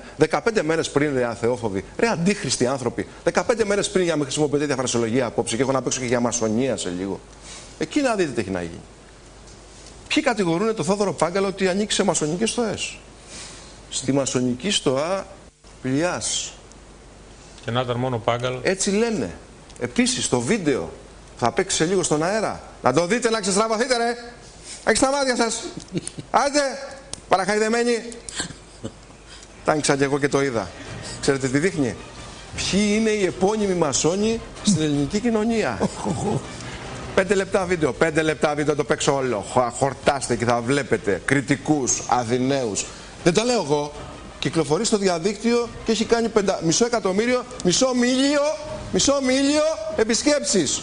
Ψάχνουν να βρουν το όνομά τους 500 χιλιάρικα επισκέψεις. Όχι σαν αυτό του Στουρνάρα. 500 χιλιάρικα επισκέψεις έχει κάνει στο YouTube και εκεί λέει επώνυμα ότι αυτός είναι μασόνος. Αυτός ανήκει στη μια στο αυτός ανήκει στην άλλη. Ο Πάγκαλος ανήκει εκεί. Εγώ δεν τα πιστεύω αυτά, σας παρακαλώ. Τέλεια, Μα είναι δυνατόν να, να, πω εγώ ότι ο κύριος Πάγκαλος, ο, ο αξιολάτρευτος που έφτασε ο Κακομήρη να βγει και το πρωί στην Τζαπανίδου την κυρία Τσαπανίδου και να πει τον πόνο του. Εγώ μπορώ να πιστέψω ο κύριος Πάγκος να ανοίξει σε μασονική στο Α. Μα για όνομα του και της Παναγίας. Σε στο Α δύσκολο, σε σύραγγα, ε, σε σύραγγα λοιπόν, εθνικής οδούμα. Κυρίες και κύριοι. Στο Α το δυσκολεύουμε λίγο. Επίσης, ένα ρεπορτάζ για τους αστέγους και μια γυναίκα απόψε καταγγέλει νευρολόγους και ψυχίατρους. Δεν προλάβαμε να το παίξουμε την Δευτέρα. Μια γυναίκα πήγε στο γιατρό και βρέθηκε μια ψυχίατρος και της είπε: Θα μου δώσεις 50 μαύρα, θα μου δώσεις και ένα κοσάρικο να πάρω το ταξί να φύγω. μαύρα όλα. Σαν τη δωρεά που δώσε μισό εκατομμύριο στο Δήμο Αριστοτέλεια από το Μπάκτα. Ναι, ακριβώς, ακριβώς, ακριβώς γένει. Όπως τα λες. Ναι. Λοιπόν, σε λίγο τα μηνύματά σας θα τα διαβάσω γιατί είναι πάρα πολλά. Πάμε σε ένα σύντομο διαφημιστικό διάλειμμα και όταν επιστρέψουμε θα ξετυλίξουμε απόψε όλα αυτά τα θέματα. Όλα θα τα παίξουμε. Όλα.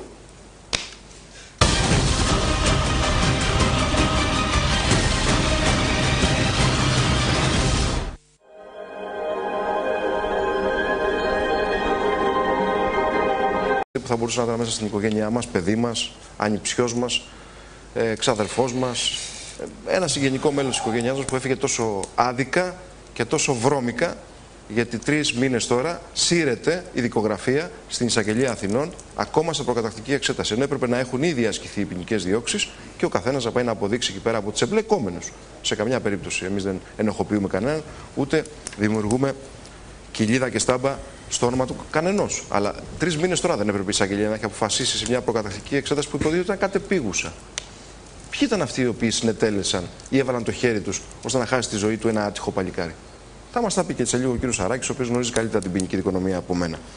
Κυρίε και κύριοι, πάμε στο Καματερό. Το Καματερό είναι, θα μπορούσε να ήταν στην πόρτα του σπιτιού μας. Όλη η Ελλάδα είναι ένα καματερό. Την ώρα που είναι η Τρόικα στην Αθήνα, εξευτελιζόμαστε σαν Έλληνες, σαν ελληνικό κράτος, σαν ελληνικό δημόσιο, σαν ελληνική κοινωνία, βλέποντας οι Τροικανοί, ακόμα και αυτός ο Τζαναμπέτης, ο απρόσεκτος, ο Βλάκας, που άνοιξε χθες την πόρτα προχτές στο Υπουργείο Εθνικής Οικονομίας και τσάκισε τον Φουκαρά τον άνθρωπο που πέρναγε με το μηχανάκι και βγήκε ο επίσης βλάκας συνοδός του για να δει αν έπαθε τίποτα το, το, το, φως, το φως του αυτοκινήτου, το φανάρι του αυτοκινήτου. Δηλαδή, γιατί μας θεωρούν σκουπίδια, τι μας θεωρούν, ότι είμαστε αμεληταία ποσότητα, ποιοι φταίνε γι' αυτό, εμείς, οι Έλληνες πολίτες, αυτοί που μας κυβερνάνε φταίνε.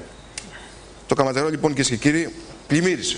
Εκεί υπάρχουν δύο πολύ ζήτησε, μεγάλες... Συγγνώμη, η πρεσβεία ζήτησε για το περιστατικό.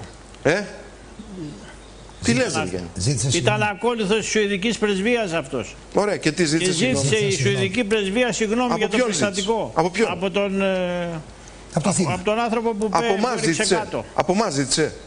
Ζήτησε κανένα Έβγαλε συγγνώμη. από- ανακοίνωση η πρεσβεία. Από εμά ζήτησε. Δεν ήταν της Τρόικας αυτό. Πέρα από εμά ζήτησε.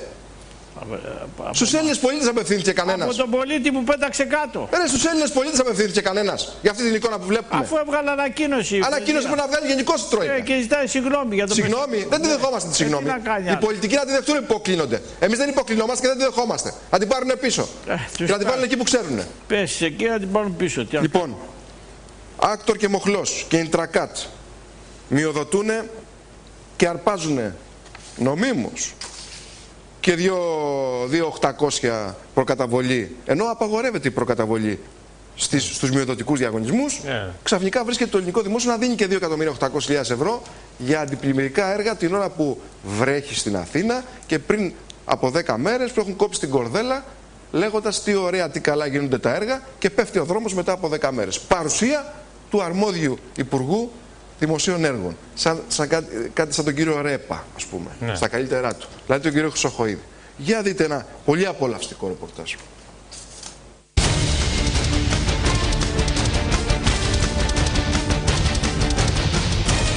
Δεν πέρασαν ούτε 15 μέρες από την επικοινωνιακή φιέστα παλαιάς και πράσινης κοπής στο ρέμα της Εσχατιάς στο Καματερό και ο κακός καιρός ήρθε και ανέδειξε τις βαρύτατες ευθύνες κυβέρνησης, περιφερειαρχών και δημάρχων για τη ζωή και ασφάλεια των κατοίκων της περιοχής. Για να κρυβολογούμε, την Τετάρτη 30 Οκτωβρίου, ο Υπουργός Υποδομών Μεταφορών και Δικτύων Μιχάλης Χρυσοχοίδης με τον Δήμαρχο Ηλίου Νίκο Ζενέτο και τον Δήμαρχο Αγίων Αναργύρων Καματερού Νίκο Σαράντη πραγματοποίησαν σύσκεψη για την πορεία του έργου Διευθέτηση του ρέματος της Χαρτιάς στο Δημαρχείο Ηλίου.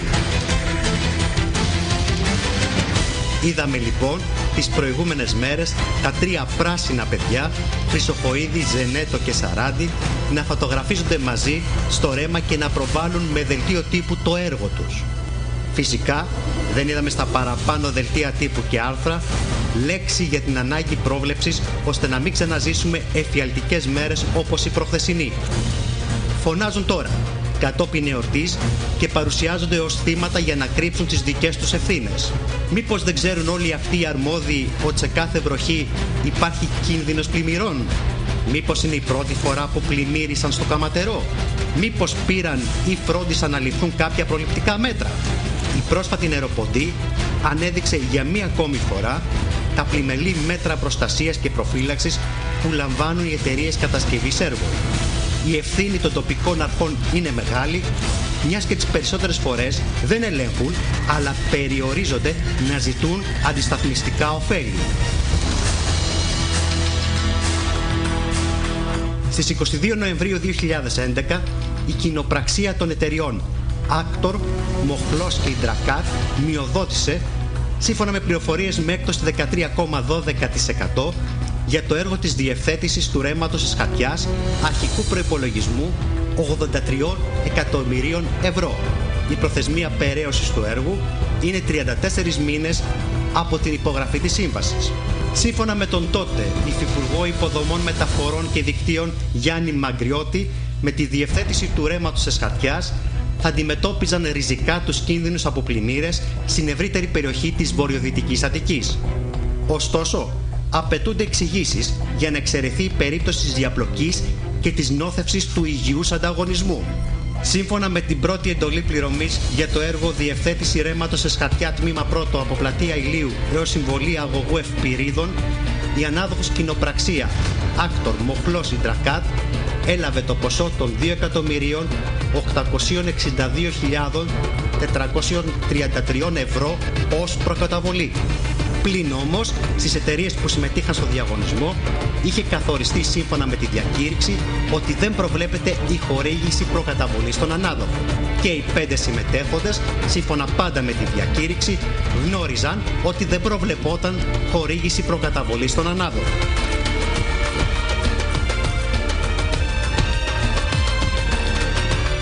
Ο Δήμαρχος Αγίων Αναργύρων Καματερού, Νίκος Σαράντης, τονίζει τώρα ότι η Δημοτική Αρχή είχε ειδοποιήσει εδώ και 1,5 χρόνο για αντιπλημμυρικά στο ποικίλο όρος και δεν έγινε τίποτα. Τονίζει χαρακτηριστικά ότι τα έργα στη Λεωφόρο Φιλής είναι σε εξέλιξη εδώ και 1,5 χρόνο και το πρόβλημα παρουσιάστηκε σε μεγάλο βαθμό από τα παραρεμάτια που έρχονται από το ποικίλο. Δυστυχώς το Καματερό δεν έχει γίνει καμία υποδομή, προσθέτει σήμερα ο κύριος Σαράντη. Ο ίδιος μάλιστα έδωσε στη δημοσιότητα την επιστολή που έστειλε τον περασμένο Ιούλιο σε όλους τους αρμόδιους φορείς για το θέμα.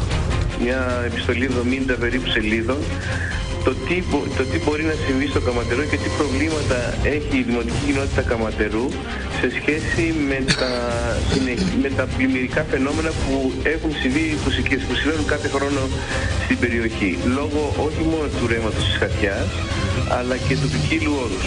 Το, το, έργο, το έργο Δήμαρχε, ποιος το φτιάχνει, το έργο το φτιάχνει μια κοινοπραξία, από ό,τι ξέρω. Ποια κοινοπραξία, δεν έχει όνομα; Μια κοινοπραξία, νομίζω, όχι νομίζω, είναι ο Άκτορ, η Τερκάτ. Το Πομπολιστάν. Έτσι, και έτσι. το... Και ο Μοφλός. Και ο Μοφλός και ο Άκτορας. Δηλαδή, στο ίδιο έργο πάλι θεατές, όπως την κατασκευή της Ολυμπίας Οδού. Οι κάμερες στήθηκαν, η τρικοματική κυβέρνηση ήταν παρούσα, με τον Πρωθυπουργό Αντώνη Σαμαρά μπροστά να δηλώνει ότι η χώρα σηκώνει τα μανίκια, αλλά σύντομα να πέφτουν πάλι οι μάσκες.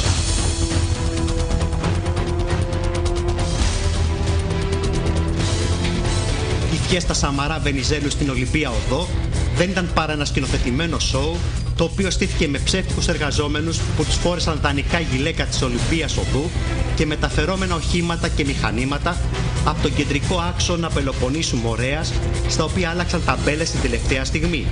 Και μόλις έσβησαν τα φώτα από τις κάμερες και έφυγε ο συμφερτός των πολιτικών, τα εργοτάξια άδειασαν και τα φορτηγά μαζί με τα μηχανήματα έφυγαν.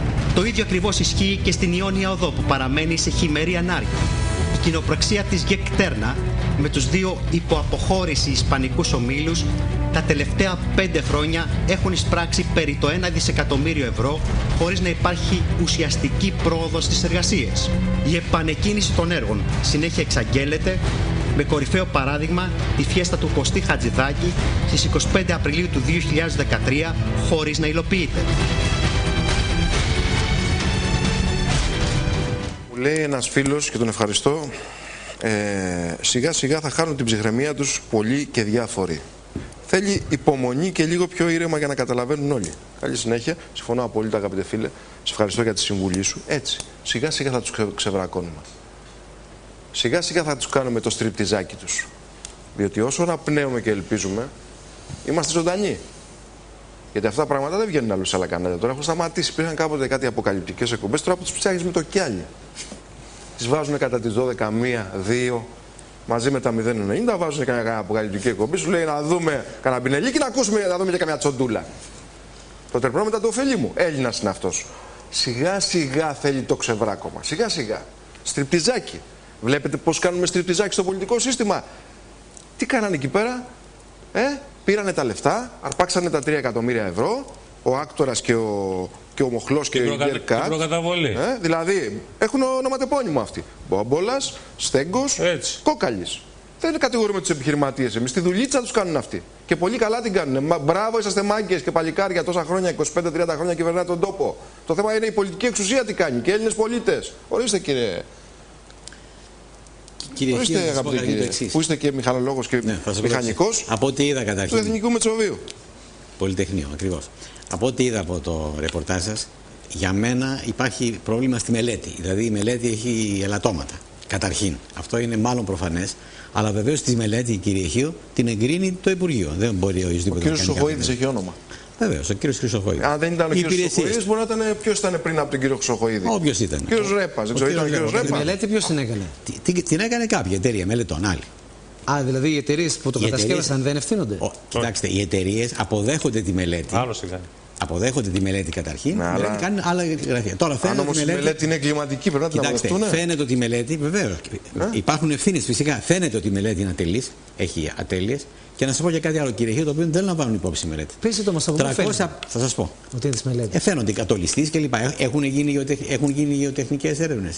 Κακοτεχνίες δεν υπάρχουν. Δηλαδή είναι αυτές οι εταιρείες, ο Άκτορας, Κοιτάξτε, αυτές είναι κατασκευαστικές εταιρείες. Αυτές είναι άπειρες. Όχι, καθόλου άπειρες δεν είναι. Και, οι κατασκευαστικές της δεν αναγνώρισαν ότι είναι η μελέτη. Είναι... Μπορεί να το αναγνώρισαν και να είπαν ότι είναι ευκαιρία να βγάλουμε και πιο πολλά λεπτά. Γιατί ξέρετε, η εταιρεία κατασκευαστική, όταν πάρει μια μελέτη και δει τα ελαττώματά της, μπορεί να την εκτελέσει και στην, κατά τη διάρκεια της εκτέλεσης να φανεί ότι είναι ατελής Οπότε να ζητήσει πιο πολλά χρήματα. Ναι, να τη διορθώσει. Γίνονται. Αυτά είναι Κοιτάξτε, η μελέτη μπορεί να ήταν και καλή. Ναι. Για μένα το μπορεί. πιο πιθανό να έχει συμβεί μπορεί να έγινε... είναι να πήρανε τα 2.800 τη προκαταβολής. Ακούστε με, ακούστε με. Να μοιράσανε τα μισά σε μίζες, γιατί έτσι παίρνουν τα έργα. Αυτά είναι υποθέσεις. Και, τα, και τα χρήματα που μείνανε να μην φτάσανε για να κάνουν το έργο καλά. Κοιτάξτε, όχι, και γι' αυτό κατέρευσε. Πού να ξέρουν, βγάλανε μια ανακοίνωση να μάθουμε. Καταρχήν. Δεν βγάλανε, αν βγάλουν να την παίξουν. Να σα πω το εξής. Αυτό το οποίο είναι βέβαιο είναι το εξής. Με τα πολεμικά στην ε, Αττική μόνον, στην, στην ευρύτερη περιοχή Αθηνών περιός, μπαζώθηκαν πάνω από 350 ρέματα. Αυτό τι σημαίνει; Ότι τα νερά πια πέφτουν σε ελάχιστα ρέματα που υπάρχουν. Ωραία, κύριε Βαρδάμ, τότε τι πάνε να κάνουν αντιπλημμυρικά Όχι, μα βεβαίως πρέπει να κάνουν γιατί θα, θα πλημμυρίσουν Ωραία, ξανά. Πώς; Φαίνεται λοιπόν ότι είχε ατέλειε η μελέτη. Δεν μπορούμε από τα λίγα. Ε, ναι, δεν το γνωρίζουμε όμως αν είχε ατέλειε η μελέτη. Φαίνεται, είπα. Φαίνεται. φαίνεται, καταρχήν φαίνεται. Μπορεί να φαγώθηκαν και τα λεφτά και να μην έγινε καλά το, έργο. Κοιτάξτε. Πού ξέρουμε ότι έχει ατέλειε η μελέτη. Δεν, δεν το ξέρουμε, υποθέτουμε. Υποθέτουμε. υποθέτουμε. Εδώ, εδώ, εδώ, εδώ κύριε Βάρδα, προσέξτε το πλάνο εδώ. Το Εμένα όμως επιτρέψτε μου να υποθέσω δηλαδή, ότι φαγώθηκαν τα λεφτά. Είναι πιο εύκολο να υποτεθεί αυτό με βάση την εμπειρία που υπάρχει μέχρι σήμερα με τα έργα παρά το ήταν λάθος η μελέτη. Να ρωτήσουμε κάτι. Είχαμε ένα ραντεβού τηλεφωνικό με τον κύριο Σαράντη να βγει να μας μιλήσει; Το κλείσε. Το κλείσε. Και πού είναι το σπίτι του κύριου Σαράντη να τον εστοχοποιήσουμε σαν το Ιντιμίδια να πάνε απ' έξω ή κάτι και να του βαράνε και να του κρούν τη θύρα; Ε, πού είναι το σπίτι του; Βρείτε τη διεύθυνση του κύριου Σαράντη να τη δώσω στους πολίτες του Δήμου Καματερού να πάνε έξω από το σπίτι του να του βαράνε νυχτιάτικα την πόρτα. Ξυπνήστε και πήγαινε έξω από το σπίτι του Δήμα. Όχι! Δέκα μέρες πριν τον είδατε τι έκανε ο κύριος Δήμαρχος; Ο πρασινοφορό κύριος Δήμαρχος, τον είδατε τι έκανε; Έκομε την κορδέλα με τον κύριο Χρυσοκοίδη. Σίγουρα κάνουν την Ξέρετε γιατί την έκομε την κορδέλα όμως; Σίγουρα Για να δείξω ότι πάνε όλα καλά και όλα ωραία. Αλλά οι ευθύνες, οι κατασκευαστικές ευθύνες. Φταίει και ο Δήμος να διερευνηθούν. Διότι εδώ μιλάμε για δημόσιο χρήμα. Έστω και αν χρηματοδοτείται, δεν ξέρω αν μπορεί να χρηματοδοτείται από την Ευρωπαϊκή Ένωση. Θα πρέπει επιτέλους σε αυτή την χώρα να βάλουμε τα πράγματα στη θέση τους. Έχουμε μεγάλο εργολάβου, και άρα όταν έχουμε τέτοιες καταστροφές έχουμε και μεγάλες ευθύνες. Εγώ αυτό το ρεπορτάζ ε, το είδατε κύριε Αποστόλο στο Μέγκα; Ε, βέβαια, βέβαια. Στο Μέγκα το είδατε; Ε, όχι βέβαια. Γιατί, όχι, γιατί, γιατί στο Μέγκα δεν το δεν είδατε; Είχαν χρόνο, δεν είχαν χρόνο. Διότι ακριβώς έχουν τον ίδιο μέτοχο. Δεν είχαν χρόνο. Διότι αυτά, ο βασικός μέτοχος που λέγαμε, αυτά, έτσι θα έρθει η δημοκρατία στην Ελλάδα όταν θα είσαι κατασκευαστής, αλλά θα σου απαγορεύεται να είσαι ιδιοκτήτης τηλεοπτικών μέσων. Διότι όσο σου επιτρέπεται να είσαι ιδιοκτήτης τηλεοπτικών μέσων, αυτά τα ρεπορτάζ δεν θα παίζονται στα μεγάλα κανάλια. Βασικός δεν θα τα μαθαίνει ο ελληνικός λαός. Μα γι' αυτό κύριε Σαράκη κρατούν και η πολιτική, από το πολιτικό σύστημα. Η πολιτική θα έχουμε τους ίδιους υπουργούς. Διότι αυτοί θα προβάλλονται. Για αυτούς θα γίνεται πλήση εγκεφάλου στον ελληνικό λαό. Εκεί λοιπόν είναι για μένα το ζήτημα η δημοκρατία θα πρέπει να καταχυρωθεί να γίνουν τέτοια νομοθετήματα όπου ο κατασκευαστής θα το απαγορεύεται να είναι ιδιοκτήτης και τηλεοπτικών μέσων. Έτσι ακριβώς Διαφορετικά θα έχουμε εμείς... τη συνέχιση αυτών των φαινομένων και θα... ίσως να, να έχουμε τα φαινόμενα που καταγγέλει ο κύριος Τόμπρας. Ε, θα ε, πρέπει οι, οι ιδιοκτήτες των μέσων μαζικής ενημέρωσης να μην έχουν καμία απολύτως σχέση είτε εμφανής είτε αφανής, είτε άμεσα, είτε έμεσα με τις κατασκευαστές των δημοσίων έργων. Μπορούν. Ο νόμος όταν, η πολιτεία όταν θέλει το κάνει.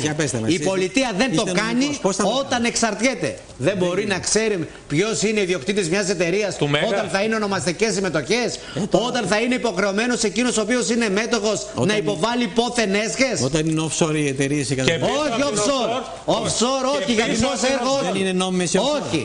Όχι γιατί να επιτραπεί να έχουν offshore; Ποιος δεν το καταλαβαίνω. Δεν είναι νόμιμο. Δεν το καταλαβαίνω. Βέβαια δεν το καταλαβαίνω. Όχι. για, για δημόσια έργα, όταν είναι δημόσια έργα πρέπει να ξέρουμε το, να έχει ονοματεπώνυμο κατασκευαστή. Βεβαίω Μα αυτό είναι αντίθετο με το ευρωπαϊκή νομοθεσία. Πώς θα το κάνει. Ακούστε να δείτε. Εσείς μπορείτε, βλέπω, βλέπω μελέτες, βλέπω εκείνο ε, τη δουλειά αυτή Δεν έχετε, είμαι μπορεί, να, κατασκευαστής εγώ. μπορεί να θέλετε να έχετε Δεν- καλές όχι. σχέσεις με αυτόν τον χώρο. Όχι, δεν θέλω να έχω Εμένα καλές με σχέσεις. ενδιαφέρει Μπορεί εσείς να θέλετε. οι Αυτά θα κάτοικοι τα του υπονοούμενα. Καματερού. Οι κάτοικοι του Καματερού. εμένα με οι κάτοικοι- Καματερό οι είναι κάτοικοι μέσα στην πόρτα μας. πύργου, Παντού του πύργου, συμβαίνει. Τα γιατί προποιείτε, κύριε Σαράκη. Ονομάτισαν Είναι την προποιητές. οδό Ολυμπία Οδό θέλοντας να πούν ότι ο στόχος είναι να φτάσει στην Ολυμπία, στην αρχαία Ολυμπία και τελικά δεν φτάνει. Διότι Σαράκη. ακριβώς τους έχουμε δώσει μέχρι και τα διόδια. Έτσι φτιάχνω και εγώ τα Έχετε δημόσια. καταλάβει. Έχουν προεισπράξει τα δύο. Έτσι, Έχετε καταλάβει. έτσι Τον γίνομαι ρόλο και τον εγώ έχουμε κατασκευαστής. Όλοι γινόμαστε. Έτσι γίνομαι και εγώ Κύριε Σαράκη, πείτε μεγαλεργολάβο. στον κόσμο ότι πληρώνουμε τα διόδια της Εθνικής Οδού Κορίνθου Της Πατρών Ολυμπίας, της Ολυμπίας. και δεν, και δεν γίνονται εργασίες στον δρόμο αυτόν. Επί- Πείτε επίσης επί ότι σειρά μηνών. σήμερα, μάλλον χτες, δημοσιογραφικά, Θυμάσαι τις χτες, αποκαλύψεις που είχαμε κάνει παλιότερα από αυτή την εκπομπή για την Ολυμπία Οδό. Ναι. Που λέγαμε ότι γίνονται φιέστες και Ναι. παρευρίσκεται ο κ. Σαμαράς πήγε να Και ο κύριος εγκαινιάσει Χατζηδάκης. χωρίς να ξεκινήσει τίποτα. Και ο κύριος και Βενιζέλος. το Μέγκα είχε βάλει ένα. Μια μπετονιέρα είχε βάλει τάχα μου ότι ξεκινάνε τα Ρε, έργα. ποια πετονιέρα, εδώ πήρανε τα γυλαίκα δανεικά Έτσι. από τους, ε, από τους εργαζόμενους στο Μορέα και τους πήγανε τους ανθρώπους εκεί πέρα και τους φορέσανε γυλαίκα της Κύριε Γη, Ολυμπίας όχι Οδού. μόνο τα Δεν γυλαίκα. ξεκίνησε Να ποτέ. ξέρετε ότι στα έργα υπάρχουν άνθρωποι που βγάζουν λεφτά επειδή νοικιάζουν στους εργολάβους χαλασμένα μηχανήματα. Το ξέρετε αυτό; Και αυτό γίνεται. Στείνουν χαλασμένα τώρα μηχανήματα που είπατε σε για εργοτάξια χαλασμένα μηχανήματα. Για να βλέπει ο κόσμος μηχανήματα. Να σας πω και- Υπάρχει οργανωμένη απάτη. Ξέρω. Να σας πω και κάτι ακόμα. Ακούστε τώρα. Κύριε Βάρδα, θα σας αφήσω να ολοκληρώσετε. Σας Παρακαλώ, πήρα το λόγο. βέβαια, Ακούστε ευχαριστώ τώρα. πολύ. Στη δολοφονία που έγινε στο Νέο Ηράκλειο, ε, παρεμφερές είναι, εργολαβίες είναι και αυτές. Ακούστε πώς δουλεύει έξυπνα η ΕΡΤ. Γιατί την ΕΡΤ την κρατάγανε κλειστή τόσο καιρό; Αυτά κυρία Μακρύ πρέπει να πείτε στον ελληνικό λαό, όχι να μου αναβαίνετε σαν την τζίτα πάνω στα κάγκελα και εσείς και η κυρία Κωνσταντοπούλου και να περιμένετε μετά να σας θυματοποιήσουμε γιατί παίρνετε 8 χιλιάρικα. Δεν το κατάλαβα. Δεν θα σας κάνουμε κριτική. Θα σας κάνουμε και θα σας παρακάνουμε κριτική. Δίνω λοιπόν την καταγγελία στο Ελληνικό Κοινοβούλιο και στην κυρία Μακρύ και στην κυρία Κωνσταντοπούλου, τις οποίες εκτιμώ και τις δύο σαν βουλευτίνες, γιατί κάνουν κοινοβουλευτικό έργο. Ακούστε λοιπόν κυρία Μακρύ και κυρία Κωνσταντοπούλου. Ο κύριος Νίκος Μπελογιάννης, αν δεν κάνω λάθος. Λέγεται ο κύριος που είναι καναλάρχης στην Καλαμάτα. Μπελογιάννης. Ποιο τηλεοπτικό σταθμό έχει, το Best.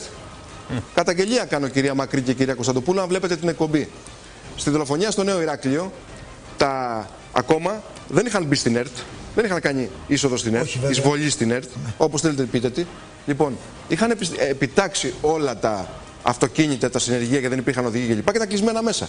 Ξέρετε με ποιους εργολάβους δούλευαν οι δημοσιογράφοι της ΕΡΤ; Με εργολάβους που φτιάχνανε συμβάσεις με φίλους του κυρίου Σαμαρά από την Καλαμάτα. Τον κύριο Νίκο Μπελογιάννη. Ο κύριος Μπελογιάννη είναι βαρόνος στην Καλαμάτα, το μέσο μαζικής ενημέρωσης. Τι έκανε λοιπόν; Έστελνε τα συνεργεία του και τα βάν του εδώ, χρέωνε 25 χιλιάρικα την ημέρα στην ΕΡΤ και τα πήρανε εσύ. Ελληνική. Μα κακαργαζόμενε. Έτσι. Το καταλάβατε τι κάνανε; Δηλαδή, αφήσανε την ΕΡΤ τρεις μήνες να μην δουλεύει και οι μπελογιάννηδες της Καλαμάτας. Για να οικονομάνε Δεν οι έχω μέτροι. τίποτα εγώ με τον επιχειρηματία, τη δουλειά του κάνει. Υπογράφανε συμβάσεις με το φάντασμα της ΕΡΤ που ανοίξει το Υπουργείο Οικονομικών και τους πληρώναμε 25 και 30 χιλιάρικα ευρώ την ημέρα Μάλιστα. από το ειστέρημα του ελληνικού λαού με αποτέλεσμα αυτά τα λεφτά να πληρώνονται από το ελληνικό δημόσιο και τον Έλληνα πολίτη. Το καταλάβατε; Και γιατί το έκανε ο κύριος Μπελογιάννης; Ο Α κύριος Μπελογιάννης ή ο Β κύριος Μπελογιάννης; Γιατί ο κύριος Μπελογιάννης είναι στην αυλή την πρωθυπουργική του κυρίου Σαμαρά στην Καλαμάτα. Αυτό είναι είδηση βόμβα. Βεβαίως είναι είδηση βόμβα, αφού ο καμεραμάν, Σκάνδαλο. ο καμεραμάν, το βαν, το, το συνεργείο χρεώνεται με την ώρα, εργατόρα που μπορεί να στοιχίζει στο ελληνικό δημόσιο και στο ελληνικό λαό 25.000 ευρώ την ημέρα. Πληρώναμε τους εργολάβους τρεις μήνες των κολλητών του κυρίου Πρωθυπουργού. Καταλάβατε κυρία Μακρύ και κυρία Κωνσταντοπούλου. Κάντε λοιπόν μια ερώτηση στο ελληνικό κοινοβούλιο.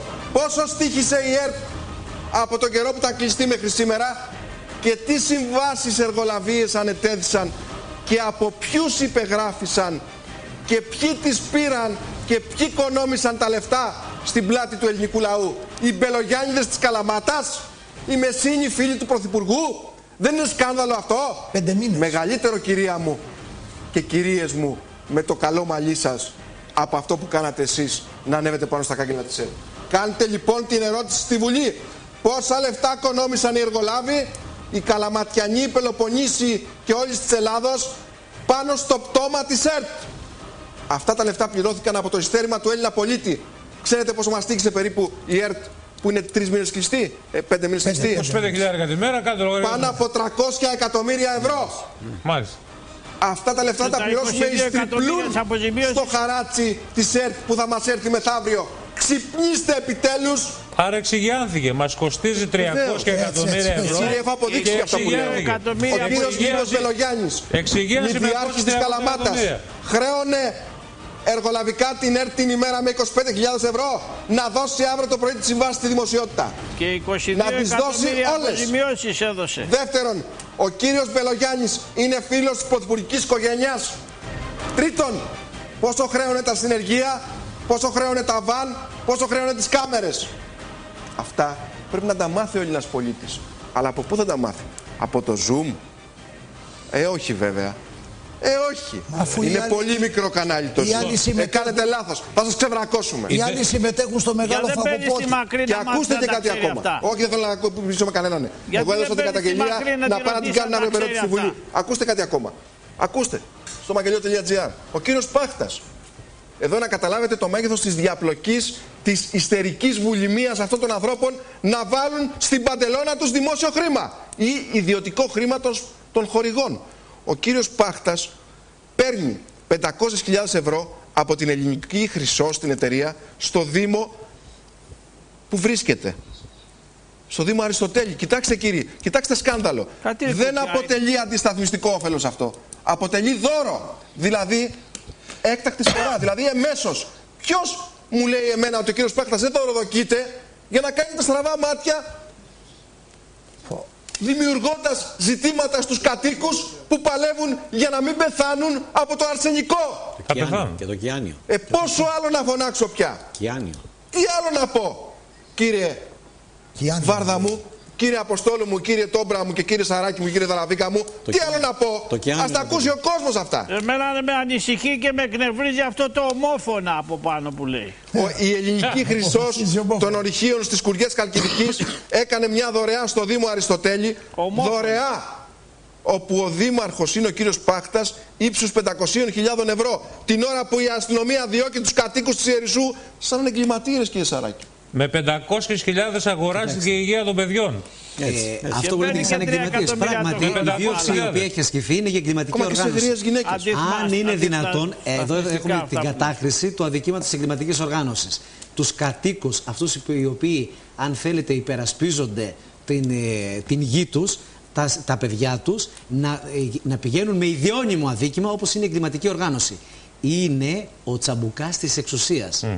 Και το τσαμπουκά της τρομοκράτη. εξουσίας τον Τρομοκρατία. καταγγέλουμε. Και επειδή μου δώσετε μη- πραγματικά μια πάσα, καταγγέλω την ελληνική κυβέρνηση όπου υπέκυψε στις απαιτήσεις των Τούρκων και παραδίδει τον Κούρδο Χασάν Μπιμπέρ Ναι. στους Τούρκους. Τότε ε, Το, συνελήφθη τον Αύγουστο. έχει γίνει αυτό. Στην Ανδριανούπολη. Συνελήφθη στον Αύγουστο, όχι. Τώρα αυτούς που συνέλαβαν τον Αύγουστο. Α, λέτε τον, τον, Και ο κύριος τον- Βενιζέλος- Τον Κούρδο, ναι, τον ε, τουρκικής... Ε, Παραδίδει τον κρατούμενο τον Κούρδο. είναι σίγουρο αυτό κύριε Σαράκη. 100% κάνει 50 ημέρες απεργία πείνας. Τον Τον απελάβουν- παραδίδει τον στους απελάβουν- Τούρκους. τον απελάβουν- Αυτόν ο οποίος δικαιούται πολιτικό άσυλο. Εδώ παρέδωσαν Τον ολόκληρο παραδίδει Σαλάν. σε- στον Ερντογάν. Τον παραδίδουν για να τον θανατώσουν οι Τούρκοι. εδώ Αυτή είναι έδωσαν η τον υπερηφάνεια Σαλάν της ελληνικής στον εξωτερικής Κούρδο, θα πολιτικής. κολλήσουν. Κύριε Σαράκη. Παραδίδουν έναν αγωνιστή. Δεν υπάρχει. Έναν αγωνιστή. Ένα λεπτό. Δεν έχει γίνει η δίκη του Δεν για έχει. ένα Ένα δίκημα λεπτό που για να μην τα διέπραξε στην μπερδεύουμε. ελληνική επικράτεια. Τον Τι παραδίδει κατηγορίες στους έχει- Τούρκους. Τι κατηγορίες Εδώ έχει ο δώσαμε Για Κούρδος. τον τρομοκρατία Τσαλάν. Ε, έχει όχι και αγωνιστή. εγκληματική οργάνωση. Ένα λεπτό. Υπάρχει Ένα- κατηγορία εις βάρος του. Και θα πρέπει να δικαστεί Υπάρχει στην κα- ναι, αλλά Ελλάδα. υπάρχει κατηγορία όμως. Μην μου Δεν λέτε θα πρέπει να αγωνιστή. γίνει η δίκη του στην Να ακούει Ελλάδα. και ο κόσμος όμως. Είναι αρμοδιότητα Αφορά- τη- της αφορά ελληνικής δικαιοσύνης. την εξολέμβιο που είχε Αφορά- πάνω πλαστιχείο. Πείτε Βέβαια, το λοιπόν. αυτό, αυτό αφορά. Μην, μην παραπλανάμε Αυτό- τον κόσμο. Όχι, δεν το παραπλανώ. Υπάρχει Αυτό βαρύτατο αφορά- κατηγορητήριο. Και θα πρέπει Ξέρετε να δικαστεί πόσο στην Ελλάδα. σας παίρνω τα δίκαια. Θα πρέπει να δικαστεί Αλλά στην Ελλάδα. έχει κατηγορητήριο. Δεν θα πρέπει να τον παραδώσουμε Σωστό αυτό. χωρίς να δικαστεί. Πολύ σωστό. Τον παραδίδουν εν κρυπτό, τον παραδίδουν για να τον, εκδι- να τον εξοντώσουν. Κάνει 50 μέρες απεργία πείνας. Μπορείτε Κανένας δεν να το μας παίζει. δώσετε αύριο Κατά το χάρτη της παράβαση. Απέλασης. Μα σας λέω, Μα να μας έχουν το κάνει δώσετε. αποδεκτό να τον παραδώσουν. Το και χαρτί, ο άνθρωπος υπάρχει χαρτί. κάνει απεργία Να πείνας μας επί το 50 δώσετε να το ημέρες. δημοσιοποιήσουμε, αυτό λέω. Διότι αυτή είναι η περήφανη ελληνική εξωτερική πολιτική. Για πάμε Στις τώρα. απαιτήσεις των Καλά, Τούρκων. Τον τον Οτσαλάν τον ξέχασες. Τον Οτσαλάν. Έτσι αυτό είναι. Η ίδια περίπτωση. Δεν δηλαδή. έχω, θα πάω σε ένα Γιατί τον διαφημιστικό Οτσαλάν διάλειμμα. δεν Βέβαια ο κύριος Βενιζέλος ασχολείται με τη πάω μονομαχία σε με ένα τον κύριο διαφωνιστικό. Τσίπρα παίζοντας το Έχει Ρίκο. άλλα Μεγάλος προβλήματα. τραγουδιστής. Ε, τον- το τον- παίζει Ρίκο, θέλει Θα μονομαχία. πάμε σε ένα διαφημιστικό διάλειμμα, ακούστε με, και όταν επιστρέψουμε. Άπαντα Θεόδωρου Πάγκαλο. Ποιοι τον εμπλέκουν σε μασονικές στοές. Πώς σκοτώθηκε ο άτυχος 19χρονος φοιτητής Θανάσης Καναούτης. Το βίντεο της μασονίας που κατονομάζει ως μασόνους Έλληνες πολιτικούς. Η αφίσα του Πασόκ που καπηλεύεται τη δολοφονία του Παύλου Φίσα. Οι άστεγοι που ζουν στα παγκάκια της Αθήνας. Οι πολίτες που καταγγέλουν γιατρούς ότι φοροδιαφεύγουν και αρπάζουν μαύρο χρήμα. Θέλετε και άλλα; Και στέκομαι μόνο στην κυρία Καλλιόπη Ταγιά- Νταγιάντα, αφού της απαρίθμησε αυτά, η οποία μου λέει, ακούστε, μας το παίζεις λαού, παιδί του λαού και μας, μου, μοστράρεις, μου μοστράρεις το iPhone στο γυαλί. Ο κόσμος πεινάει, δεν το περίμενα αυτό από σένα. Διαφημίσεις για να μην τα σπάς όλα.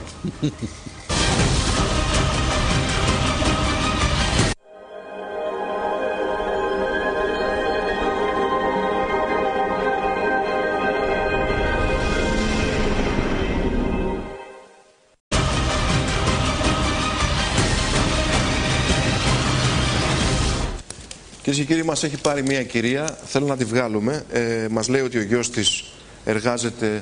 Κυρία Μαρία Κάτζουνε, εργάζεται στην ε, Ολυμπία Οδό, στα έργα και ο γιος της είναι απλήρωτος ακόμα. Ορίστε. Την έχουμε στη γραμμή ή θα τη βάλουμε, βγάλουμε σε λίγο. Ναι, την- ναι, είμαι. Καλησπέρα, κυρία Κάτσου, καλημέρα. Καλησπέρα, καλησπέρα. Τι κάνεις παλικάρι μου; Τι να κάνω, πονάω. Πονάω, ειλικρινά πονάω με αυτά που βλέπω. Θα πεθάνω σε λίγο από τον πόνο. Δούλευε τη νύχτα και φύλαγε τα μηχανήματα και το αποτέλεσμα δεν τον επληρώσανε. Πού δούλευε ο γιος σας, Πού δούλευε; Ορίστε. Πού εργαζόταν ο γιος σας; Ε, ε, τον επήρε ένας υπεργολάβος, δεν ξέρω το επίθετό του, Ναι. και δούλευε το βράδυ. Πού να δούλευε; φυλάει τα μηχανήματα. Σε ποια και περιοχή, του κυρία Κάτζου; δικαιολογήθηκε ότι δεν τον επληρώσανε τα μεγάλα κεφάλια Άρα και δεν έτσι δεν πληρώνει του και εκείνη. δώσανε και τα λεφτά. Ε, ένα λεπτό για να τα βάλουμε σε μια τάξη. Από πότε δούλευε και πού δούλευε, σε ποια Μανάρη, περιοχή; Τα περισσότερα δεν τα ξέρω. Πάντως όλο το Κυρία Απρίλη, Κάτζου, σε ποια περιοχή θυμάστε; Ε, απάνω στο, στο βουνό ήταν, δεν ξέρω. Α, στη πώς Στοά, λέγεται εκεί η κοντά στην περιοχή. Κόνηθο προφανώς, στο, στο τούνελ. Σωστά το Ορίστε. φάγαμε. Ε, στο τούνελ επάνω δούλευες, στο βουνό. Ναι, ναι, παλικάρι μου, εκεί Από δούλευε. πότε δούλευε, θυμάστε, από πότε; Όλο τον Απρίλιο Α, τότε που ήταν η φιέστα, κοντά στη φιέστα. Το Μάιο έγινε η φιέστα, αν δεν κάνω λάθος. και Μάιο. Ακριβώς ημερομηνίες γιατί Μάλιστα. δεν έμενε εδώ πέρα, Και το- έμενε στην Πάτρα. Έμενε στην Πάτρα. Δεν Γι' ξέρω αυτό για να περισσότερα, πηγαίνει. αλλά σας πήρα να σας πω ότι ήταν όλα εικονικά αυτά που κάνανε. Και φάγανε του κοσμάκι τα λεφτά. Εικονικά. Εικονικά, Βεβαίως. ακούστε, εικονικά. Στο γιο σας τι λέγανε τότε, έλα να δουλέψεις για δύο μήνες; Τον πήρανε για να... φυ- Ναι, μετά τα, τα κλείσανε και τα παρατήσανε στη μέση όλα. Πήσανε και τα παρατήσανε. Αυτό που κάνανε, που βγήκε ο Βενιζέλος ο Σαμαράς ήταν ίσα ίσα να αρχίσει η δουλειά και Ούτε μετά και βάρδα το, τα κλείσανε και τα τα, παράτησαν. τα κλείσανε. Σταμάτησε δημόσια επενδύση. Δηλαδή, δηλαδή εννοείται ότι στήσανε τα, Δεν έχει το εργοτάξια, κράτος λεπτά. τα εργοτάξια Για να επίτηδες εμφανίσει πρωτογενές Ναι, πλέον. ναι. για να δείξουν στον κόσμο ότι κάνουν το έργο Το πρωτογενές και πλέον μετά είναι. μόλις κόψανε τις κορδέλες και βγήκαν οι φωτογραφίες Ναι, τα κλείσανε και αυτό βγήκαν. Το λέει, Αυτό- κα- αυτό λέει κάτι καταγγέλλεται. Σημαντικό ο κύριος.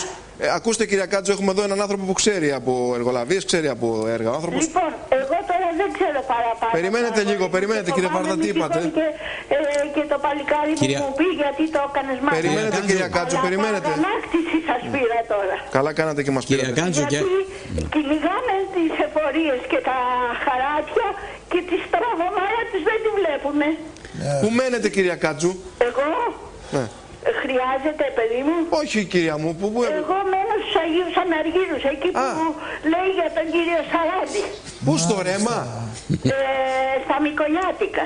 Πού Κοντά μένει ο στο κύριος ρέμα. Σαράντης, ο κύριος Σαράντης που μένει; Ο, α, δεν ξέρω. Πού μένει ο Δήμαρχος να δώσουμε τη διεύθυνση στον αέρα να πάνε να του χτυπάνε την πόρτα απόψε, οι Το χριστιανοί; δημαρχείο του.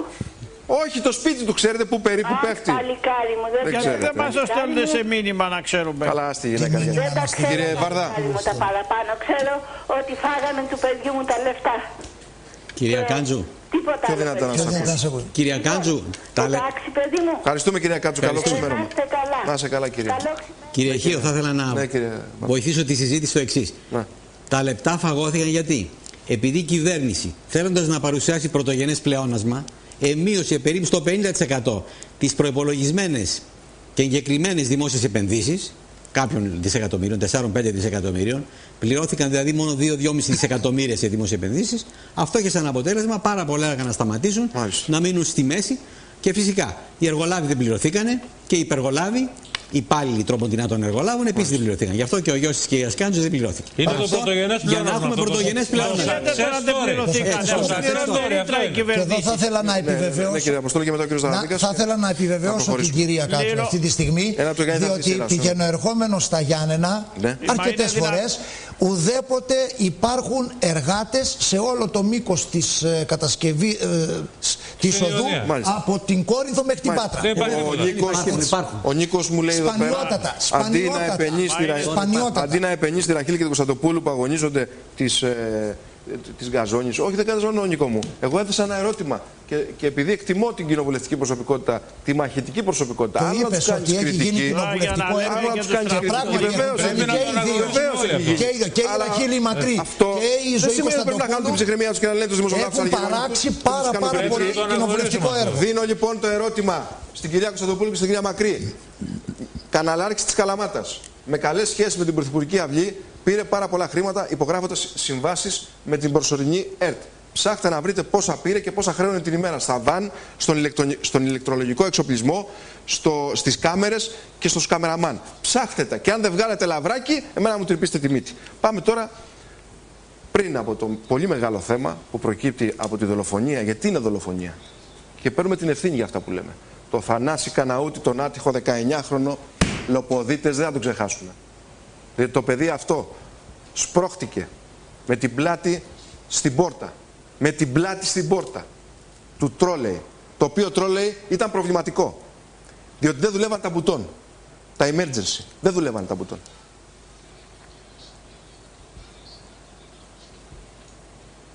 Ναι. Πριν από αυτό με ενημερώνουν ότι θέλει να κάνει μια παρέμβαση και τον ευχαριστούμε. Ο κύριος Ελαιοτριβάρης, ο αντιδήμαρχος ε, στον Καλλικρατικό Δήμο Αγίων Αναργύρων ε, Καματηρού. Ορίστε κύριε Αντιδήμαρχε, σας ακούμε. Το σπίτι μου λέει είναι Σαβοκλή Βενιζέλο 80 Αγίου Αναργύρος για όσους εσάς επιθυμείτε. Μ' ακούτε; Λίγο πιο δυνατά, ναι. Ναι κύριε Αντιδήμαρχε. Το σπίτι μου είπα είναι Σοφοκλή Βενιζέλο 80 Αγίου Αναργύρους. Μάλιστα. Για τα έργα θα μας πείτε κάτι; Θα σας πω ό,τι θέλετε. Για τα έργα θα μας πείτε λίγο. Αφορά η απειλή σας που είναι το σπίτι του Δήμαρχου; Όχι, δεν, είναι- εγώ δεν ζήτησα του, του Αντιδήμαρχου, του Δήμαρχου ζήτησα. Ναι, ναι, δεν πειράζει. Την ξέρετε Η τη απειλή διεύθυνση να μας και η δώσετε; γελιότητας έχει και τα όρια της, έτσι. Ωραία. Την Τώρα, ξέρετε τη δηλαδή, διεύθυνση του και- Δήμαρχου να μας τη δώσετε; Ακούστε τώρα να δείτε. Πείτε μας. Ο Δήμος του Αγίου Αναργύρου, του Καματερό, έπαθε μια τεράστια ρυθμία αυτές τις μέρες. Έχουμε να κοιμηθούμε όλοι τρεις και τέσσερις μέρες. Έχουμε το, τη ζημιά που πάθαμε από το ρέμα. Είναι το 10% και λιγότερο τη ζημιά που πάθαμε από το βουνό. Το βουνό ανήκει στην περιφέρεια εξ ολοκλήρου. Τα ρέματα και όλα αυτά που πάθαμε τη ζημιά έχουν πλημμύρει σε σπίτια, οικογένειες, επιχειρήσεις. Δεν αφορά και δεν ασχολείστε καθόλου με αυτό. Ασχολείστε με το 2 και το 3% του ρέματος. Μια επιχείρηση που σκασίλαμα, αν έκανε καλά τη δουλειά της ή όχι, όχι ρέμα, το σκασίλαμα σε περι- Σκασίλα. μέσα σε... Περιμένετε.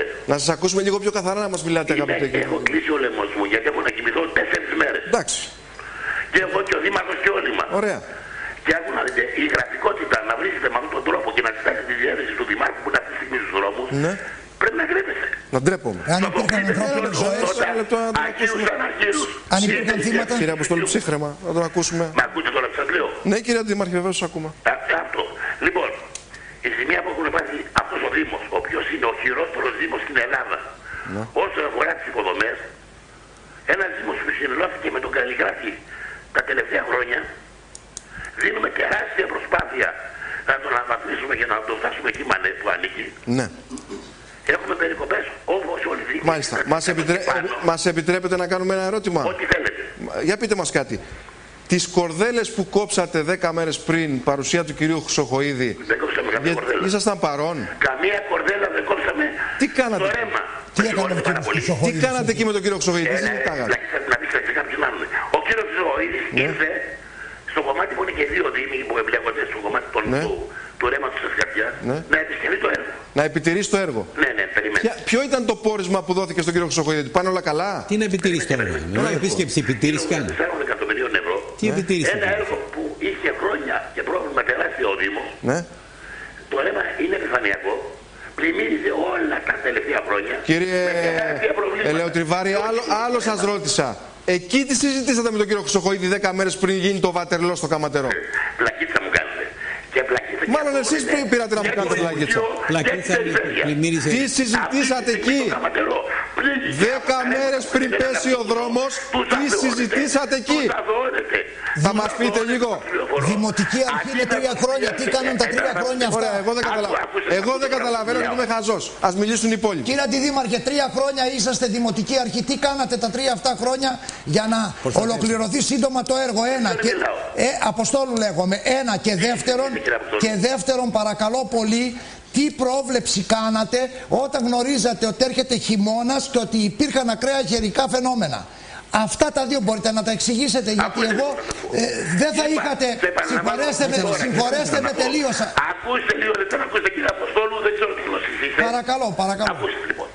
Η λάσπη και τα όρια πρώτο. Ποια λάσπη Η κύριε, ζητιά- λάσπη γέμισαν οι η ζητιά κάτοικοι. στο Οι Καματερό. κάτοικοι γέμισαν Είναι λάσπη. έπαθε από το βουνό και όχι από το ποτάμι. Τη μεγάλη ζημιά. Από το ποτάμι πάθανε δύο επιχειρήσεις, μικρές, δύο-τρεις επιχειρήσεις και μια πολύ μεγάλη ένα βουλγανισατέρ και είμαστε δίπλα του, αλλά τα σπίτια και οι επιχειρήσεις οι υπόλοιπες νικήκαν από το βουνό. Το βουνό Που εσείς δεν ασχολείστε, ναι, από το βουνό. Τα νερά μπήκανε από τα ρέματα που, δεν- τα παραποτάμια που δεν έχουν τα πίσω έργο, Γιατί που είναι; εμείς φωνάζουμε Γιατί; και ενταφνούνε. Ρωτήστε, κύριε Είμαστε Βάρδα, μια ρωτήστε τον. δημοτική αρχή. Λίγο πιο δυνατά, Ακούστε δεν λίγο να ακούσω. σας πω. Ακούω. Έλεος δηλαδή. Και τρία χρόνια τι κάνατε; Να σας πω τώρα λοιπόν. Είμαστε μια δημοτική αρχή. Τρία χρόνια. Να σας πω. Τρία χρόνια δεν είμαστε έναν αιώνα. Ένα αιώνα είναι τα βήματα εκεί. Λοιπόν, είμαστε μια δημοτική Άρα αρχή. καταγγέλλετε, Ακούστε άρα τώρα, καταγγέλλετε την κυβέρνηση. Καταγγέ- ακούστε τώρα. Καταγγέλλετε την κυβέρνηση. Ακούστε, έτσι και το κάνω, ναι, εννοείται. Την καταγγέλλετε. Πείτε το λοιπόν. Και τι κάνατε εκεί με, το, κα- με τους ανθρώπους που καταγγέλλατε; Καταγγέλνουμε Ακούστε την τώρα να σας κυβέρνηση. μιλήσω. Αν μιλάτε όλα μαζί. Είμαστε μια δημοτική αρχή. Άντε Τρία πάλι. χρόνια. Κύριε Τρία Λεωτριβάρη, χρόνια. δεν βγαίνετε στο μπαλκόνι. Έχουμε- Να ενημερώσετε τον Έλληνα πολίτη. Μελέτη και τα ρέματα. Πώς θα εκτεθούν και πρέπει να χρηματοδοτηθούν από την περιφέρεια που εκεί ανήκουν. Εκεί ανήκουν. Κύριε Λεωτριβάρη, Έχω αντιλαμβάνεστε ότι μιλ- μιλάτε σε σκεπτόμενους ανθρώπους. Ρωτώ. Σκεπτόμενοι. Το ερώτημα είναι ξεκάθαρο. Αφού όλα πηγαίνανε καλά. Είπα εγώ τέτοιο πράγμα. Μα αυτό δεν, δεν Είπα κάνατε. εγώ τέτοιο πράγμα. Εκφράσα, Δεν κάνετε. εκφράσατε χριστιανέ μου τις απορίες και τους φόβους σας στον κύριο Χρυσοχοίδη. Του τα είπατε αυτά; Ακούστε το να σου πω κάτι. Πρώτον. Ακούστε το ένα, ακούστε το- Θα μου δώσετε μια απάντηση. Τρεις και τέσσερις και τους έχουμε, και τους έχουμε πει ότι είσαστε υπεύθυνοι. Δεν μου λέτε κάτι κύριε Λεωτριβάρη. Αλλού το πάει. Με ποιο χρώμα παρατάξεως Έτσι, κατεβήκατε μπράβο. εκεί στο Δήμο; Άκου να σου πω, Με ποια παράταξη. Όχι, απαντήστε με σε αυτό που ρωτάω. Λέτε τώρα. Απαντήστε με σε Απαντήστε αυτό που κύριε ρωτάω. Αντιδήμαρχε επιτέλους. Μην μας βασανίζετε. Απαντήστε στις ερωτήσεις μας. Μην το πάτε από εδώ και από εκεί. Δεν πολιτικοποιείτε εδώ πέρα. Ενημερώστε το, τους ακροατές μας. Αφήστε τα πολιτικά και αυτά. Μας μιλάτε, μας μιλάτε, ακούστε κι εσείς επιτέλους. 20 λεπτά μιλάτε και μας λέτε άσχετα πράγματα. Με ποια παράταξη κατεβήκατε στο Δήμο κύριε. Με ποια παράταξη κατεβήκατε στις εκλογές; Πέστε μας. Προσφέρομαι να αγοράσω. ε, Μην, μιλάτε μιλάτε, για μην του τον μιλάτε όλοι. μην του- Ιδρώτα. Γιάννη, σε παρακαλώ. Γιάννη, μην μιλάς τώρα. Σε παρακαλώ. Ορίστε κύριε Βάρδα. Ρωτά, ρωτά, Βάρδας Μιχάλης λέγομαι. Τι που ανήκετε εσείς; Είμαι μηχανικός. Και Σας, πού είστε παρακα... παραταξένοι. Σας παρακαλώ πολύ Σε μπορεί... ποια παραταξένοι ξέρω. Σας παρακαλώ πολύ μπορείτε να μας πείτε με ποια παράταξη Εσείς κατεβήκατε ρωτάτε ποια παράταξη και ανήκετε με, εσείς. με ποιου κόμματος Σε τη ποια σημαία; παράταξη μπορεί να πεις αν εσείς μου κάνετε ερώτηση. Ποιος σας στήριξε, ποιο κόμμα σας Εσείς ποια στήριξε; παράταξη ανήκεις που κάνεις την ερώτηση. Κύριε, το Τι σας Πασόκ σας νοιάζει, στήριξε. κύριε; Μα τι λέει, Ντρέπεστε να το πείτε. Ένα μπορεί να μου πεις. Τι σχέση έχει τώρα μετά; Κύριε εσείς, Λεωτριβάρη, εσείς είστε Το δημόσιο Πασόκ πρόσωπο. σας στήριξε. Σε ρωτάω εσένα που με ρωτάς τι παράταξη ανήκεις. Το Πασόκ, χριστιανέ μου, σας στήριξε. Τι παράταξη είμαι, μην δεν- δεν γονάω. Κύριε Δήμαρχε, Ε, ντρέ- ρε, Παναγία ντρέπεστε μου, να πείτε την απόψε. παράταξη που σας Φοβάται, στήριξε. φοβάται. Ντρέπεστε. Ενδιαφέρεστε για τα Ντρέπεστε. προβλήματα του τόπου. Να πείτε με ποια Ίδια παράταξη παράταξη κατεβήκατε. Δεν έρθει αφαίρετα για τα προβλήματα της περιοχής Πείτε μας κύριε με ποια παράταξη κατεβήκατε, μας κοροϊδεύετε 10 λεπτά στην τηλεόραση. Με την εγκληματική οργάνωση του Πασόκ. Και πείτε μας τα 3 εκατομμύρια που πήραν εκεί οι εταιρείες. Εσείς σαν δήμαρχος ελέγξατε τι τα κάνανε. Αν έκαναν το έργο όπως έπρεπε. Πήρανε 3 εκατομμύρια προκαταβολή. Δεν το γνωρίζετε. Δεν το γνωρίζετε κύριε ότι πήραν 3 εκατομμύρια προκαταβολή. Τι δουλειά έρχομαι. Αν δεν έχετε καμιά δουλειά, τότε να πάτε στο σπίτι σας κύριε αν δεν έχετε δουλειά. Δεν έχετε δήμαρχος, να, πάτε στο σπίτι σας. Για να μην έχετε καμιά δουλειά εκεί. Δήμαρχος, αντιδήμαρχος και έχετε το θράσος να λέτε ότι δεν έχετε καμιά δουλειά. Γιατί σας ψήφισαν οι πολίτες; Για να λέτε ότι δεν έχετε καμιά δουλειά. Και να τρέπεστε να πείτε με ποιο κόμμα κατεβήκατε στις εκλογές. Κάντε μας τη χάρη κύριε. Κάντε μας τη χάρη να πάτε να κάνετε πλάκα αλλού. Όχι βγήκατε να κάνετε πλάκα εδώ. Κάντε μας τη χάρη κύριε. Παρακαλώ, παρακαλώ, όχι έτσι, όχι έτσι. Κύριε Λεωτριβάρη, βλέπετε καθόλου τηλεόραση αυτή τη στιγμή; Όχι, δεν βλέπω. Είμαι στο τηλέφωνο και δεν βλέπω τηλεόραση. Ορίστε. Τι λέτε, τι λέτε, δεν σ' ακούμε, δεν καταλαβαίνω. Είμαι στο τηλέφωνο, έχει κλείσει ο λαιμός μου. Μπράβο. Γιατί τρεις μέρες είναι στον δρόμο. Μου το είπατε αυτό, είσαι άγρυπνος, εντάξει. Τι είμαι; Να ρωτήσω κάτι. Στη, Τέσσερις στη μέρες φιέστα εκεί με τον κύριο Χρυσοχοίδης ήσασταν παρόν; Όχι. Ποιος ήταν παρόν; Τι θέλει να πει με αυτό. Ε; Άκου να σε ρωτήσω κάτι. Ο άνθρωπος ρωτάει. Δεν μου λέτε κάτι κύριε. Μηνυτήρια αναφορά. Μηνυτήρια αναφορά θα κάνετε στον εισαγγελέα για το έργο το οποίο ήταν σε κακο- κακοτεχνία κατά παντός υπευθύνου. Θα κάνετε. Παροτάει, δεν Πάλι απαντάει. να ρωτήσει. Αντίλα Δήμαρχε, μετά από αυτή την καταστροφή. Είστε λαϊκιστές. Άρα μπορεί να ρωτήσω. Να σας ρωτήσω κάτι μπορώ. Ω, μα δεν θα μας πάει στα νεύρα, Όχι, θα σας εδώ, πάσω. εδώ πήρατε τηλέφωνο για να τοποθετηθείτε. Δεν θα ρωτάτε, σας ρωτάμε. Λέμε, Θα πάτε αύριο στον εισαγγελέα να καταγγείλετε για κακοτεχνίες στο έργο. Πώς δεν λένε, θέλανε. Θα πάτε, Παύλος Σαράκης λέγομαι. Αυτό είναι το ενδιαφέρον. Απαντήστε πάνω απ' όλα στους κατοίκους του Δήμου σας. Ε, παιδιά, πλάκα κάνει ο Θα άνθρωπος. πάτε στον εισαγγελέα. Ειλικρινά κάνετε κλαία. Και είστε και λαϊκιστές. Δεν απαντάτε. Είμαστε λαϊκιστές. Δεν απαντάτε. Εσύ πρέπει να απαντήσετε κύριε Θα απαντήσετε στους πολίτες. Μιλάτε όλοι μαζί. Και την πλημμύρα που πάτε. Κάτι τελευταίο. Κύριε Αντιδήμαρχε, ακούστε με λίγο, μη φωνάζετε. Εμείς θα τα πάρουμε. Ωραία ανέκδοτα. Ένα λεπτό. Πλακίτσα, ναι. Καληνύχτα, κύριε. Ένα- Ένα λεπτό. Κύριε Λεωτριβάρη, κάτι Άντε να τελευταίο κοιμηθείτε λίγο. για να σας αφήσουμε να κοιμηθείτε. Είστε αντιδήμαρχος ηλεκτρισμού. Τι είναι αυτό; Υπάρχει τέτοια Στο σημασία. Δήμο είστε αντιδήμαρχος ηλεκτρισμού. Υπάρχει δήμαρχος ηλεκτρισμού. Ναι. Αντιδήμαρχος αστικού. Ακούστε με λίγο. Είστε αντιδήμαρχος αστικού σχεδιασμού δικτύων κυκλοφορίας και περιβάλλοντος. Μάλιστα. Μάλιστα. Τι ξέρετε εσείς από έργα; Τι, τι σημαίνει αυτό; Σας ρωτάω κύριε, τι ξέρετε από έργα εσείς; Μηχανικός Τι σημαίνει αυτό μπορεί να μου πεις; Είστε μηχανικός για να εκφράσετε άποψη. Πού είναι ο δήμαρχος κρυμμένος; Να σε ρωτήσω κάτι. Ο δήμαρχος που είναι, σε ποια κουβέρτα από κάτω είναι κρυμμένος; Ποιο είναι Πες του δήμαρχου να με πάρει τηλέφωνο και θα βάλω όλους τους πολίτες να του βαράνε την πόρτα απόψε. Θα βάλω τους πολίτες να του βαράνε την πόρτα απόψε. Με ακούσε Λεωτριβάρη. Για να μην τα, μην τα κάνουμε ελαιοτριβείο εκεί πέρα. Λοιπόν, Καλύπτεται το Υπουργείο. έλα, έλα σε παρακαλώ τώρα. Το καλύπτεται. Έλα σε παρακαλώ. Έχουμε μια τεράστια Α, σε παρακαλώ. Στέφανε. Λοιπόν, Μας έπνιξαν τα ρέματα. σας σεβάστηκα όσο έπρεπε. Λαϊκιστές. Κοροϊδεύετε τον κόσμο. Κοροϊδεύετε τον κόσμο. Εάν υπήρχαν θύματα. Γραφική. Κύριε Αντιδήμαρχε, Γραφική, εάν ε, υπήρχαν Καλά, θα σε φτιάξω εγώ, μην ανησυχείς. Ειλικρινά λυπάμαι. Θα ξανασυναντηθούμε, μην ανησυχείς. Καλό βράδυ. Καλό βράδυ. Πώς είσαι εσύ. Άστονε. Δήμαρχε, ο Άστονε, σε παρακαλώ, ο κόσμος κατάλαβε. Μισή ώρα δεν μας λες με ποιο κόμμα κατεβαίνεις. Αφήστε τους. Ακόμα δεν μας το Ο έχεις πει. κόσμος κατάλαβε. Και θα Εγώ- μας πεις γραφικούς. Άκουσε κύριε Τομπρά. Εγώ βλέπετε πόσο ευγενής είμαι σε αυτόν τον άνθρωπο. Θράσος. Στην αρχή. Μας αποκαλεί γραφικούς, λαϊκιστές. Ο κύριος. Να τον χαίρετε ο Δήμος Καματερού και Πώς σας Αγίων λένε, Αργύρων. πού δουλεύετε; Ακούστε, Ναι, με. ναι, εγώ ήμουν ευγενής.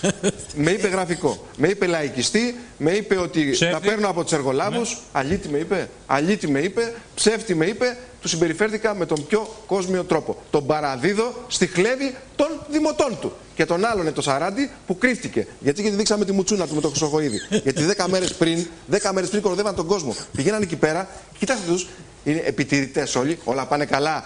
Κύριε Υπουργέ Μιχάλη μου, και κάνανε τις επικύψεις και κάνανε τις κολοτούπες και ανοίγανε τις σαρδέλες και δίνανε και τα, τα βρώμικα τα σαλάμια και τρώγανε και, τις, και πίνανε και τις μπύρες. Και πίνανε και τα ουίσκια μετά. Και μετά από 15 μέρες. Πάει το γεφύρι. Πάει το γεφύρι. Και αν, και, και, δεν έχουν ευθύνες για την κατασκευή. Θα πάνε η Δημοτική Αρχή δεν έχουν ευθύνες κατασκευαστικές.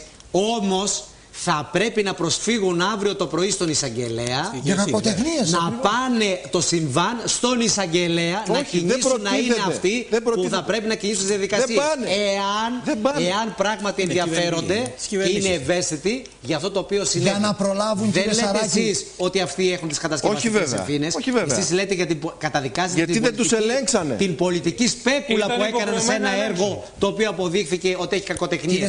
Θα πάνε αύριο στον εισαγγελέα να καταγγείλουν να σας όλα πω, αυτά. Αυτό είναι το ερώτημα. Δεν θα πάνε. Ε... Ξέρετε γιατί; Γιατί είναι ομοτράπεζοι Έτσι. και της ίδιας παράταξης με τον Υπουργό Δημοσίων Έργων. Όμως, Καταλάβατε κάτι; Γιατί κάνουν ψηφοδηρία εκεί οι κύριοι. Στέφανε, Για αυτό το, το θέμα είναι πολύ σοβαρό γιατί δεν θρυνήσαμε θύματα.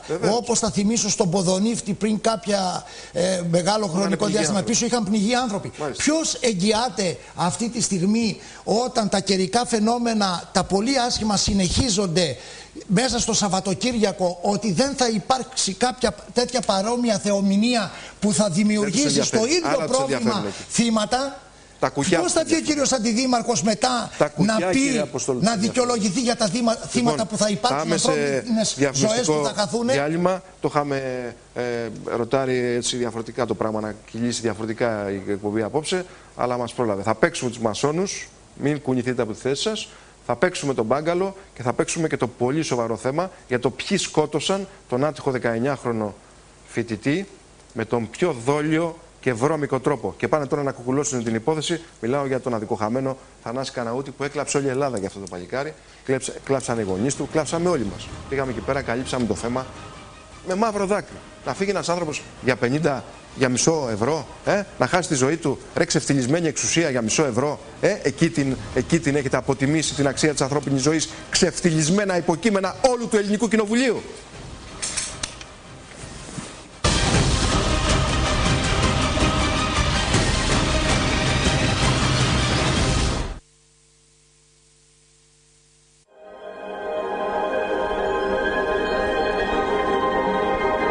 Χωρίς πολλές χρονοτριβές, να πάμε λίγο στα άπαντα του κυρίου Θόδωρου Πάγκαλου και στις ε, ε, διάφορες ε, περίεργες φήμες που ακούγονται ε, και μέσα από το διαδίκτυο και γενικότερα ε, μέσα από την βιβλιογραφία την οποία μας έχει στείλει ένας αναγνώστης στο μακελιό.gr για εμπλοκή του κυρίου Πάγκαλου ίσως στο παρελθόν, δεν το γνωρίζω αυτό, εγώ το είμαι, είναι υπό αμφισβήτηση αυτό το θέμα Εμείς δεν το ασπαζόμαστε, δεν το υιοθετούμε, όμως είμαστε υποχρεωμένοι να το προβάλλουμε γιατί εντάξει, δεν είναι κακό να είσαι μασόνο. Το θέμα είναι γιατί οι μασόνοι δεν λένε ότι είναι μασόνοι; Όχι, πώς δεν είναι κακό, Στέφανη. Όχι, δεν κάτσε. Είναι κακό. Λοιπόν, για να δούμε το πρώτο ρεπορτάζ που αφορά τον κύριο Πάγκαλο και λέει ο κύριος Αριστοτέλης Παναγιοτόπουλο. Καλημέρα, δεν λέω ότι φταίτε εσείς, αλλά δεν έχετε διαβάσει τα μηνύματα του κόσμου, τα οποία θα έχουν μαζευτεί πολλά και έχουν να κάνουν και με το πρώτο θέμα που παίξατε σήμερα. Βεβαίως θα τα διαβάσω όλα στο τέλος της εκπομπής. Ο ένας άλλος κύριος μου λέει ε, Χιωαλάνη, παίξε τους μασόνους γιατί ε, γράφω μαθήματα αύριο που είναι ζήτημα τιμής για μένα και πρέπει να την πέσω. Θέλω να ακούω πληροφορίες για αυτά τα μπάσταρδα, όμως μόνο και εσύ λες τέτοιες. Παίξε αυτό το θέμα πρώτα αν μπορείς, δεν θέλω να το χάσω.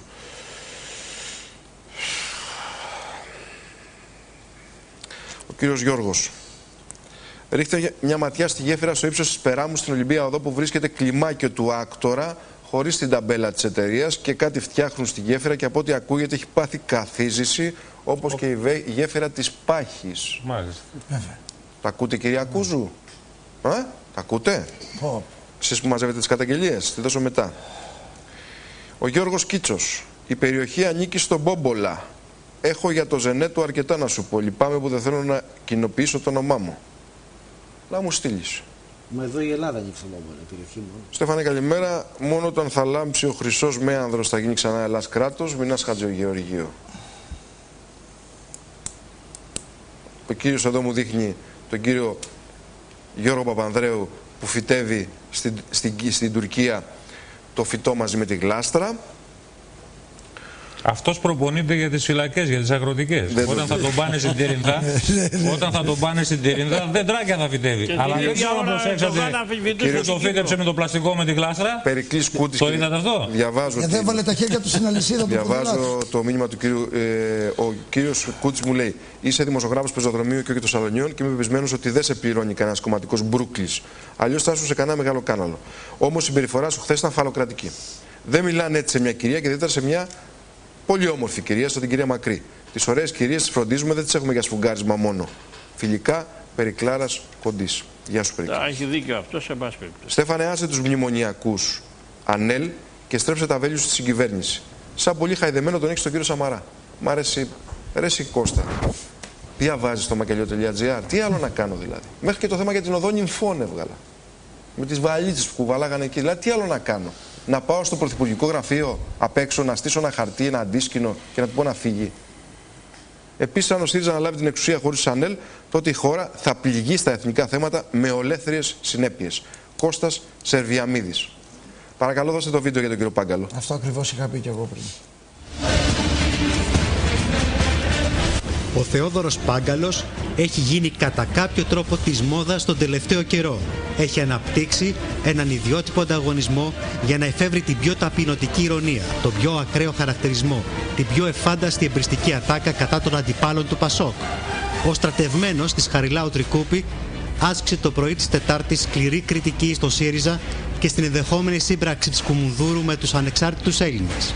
Πρέπει την άλλη μέρα το πρωί να εξασφαλίσω ότι οι τράπεζες παρέχουν χρήματα σε όσους έχουν καταθέσει αυτές τις τράπεζες δηλαδή, ότι άμα πάω δηλαδή και, και πω με συγχωρείτε ο λογαριασμός μου έχει 15 χιλιάρικα, θέλω να αφήσω 500 και να πάρω τα 14-500, αυτό θα μπορεί να γίνει.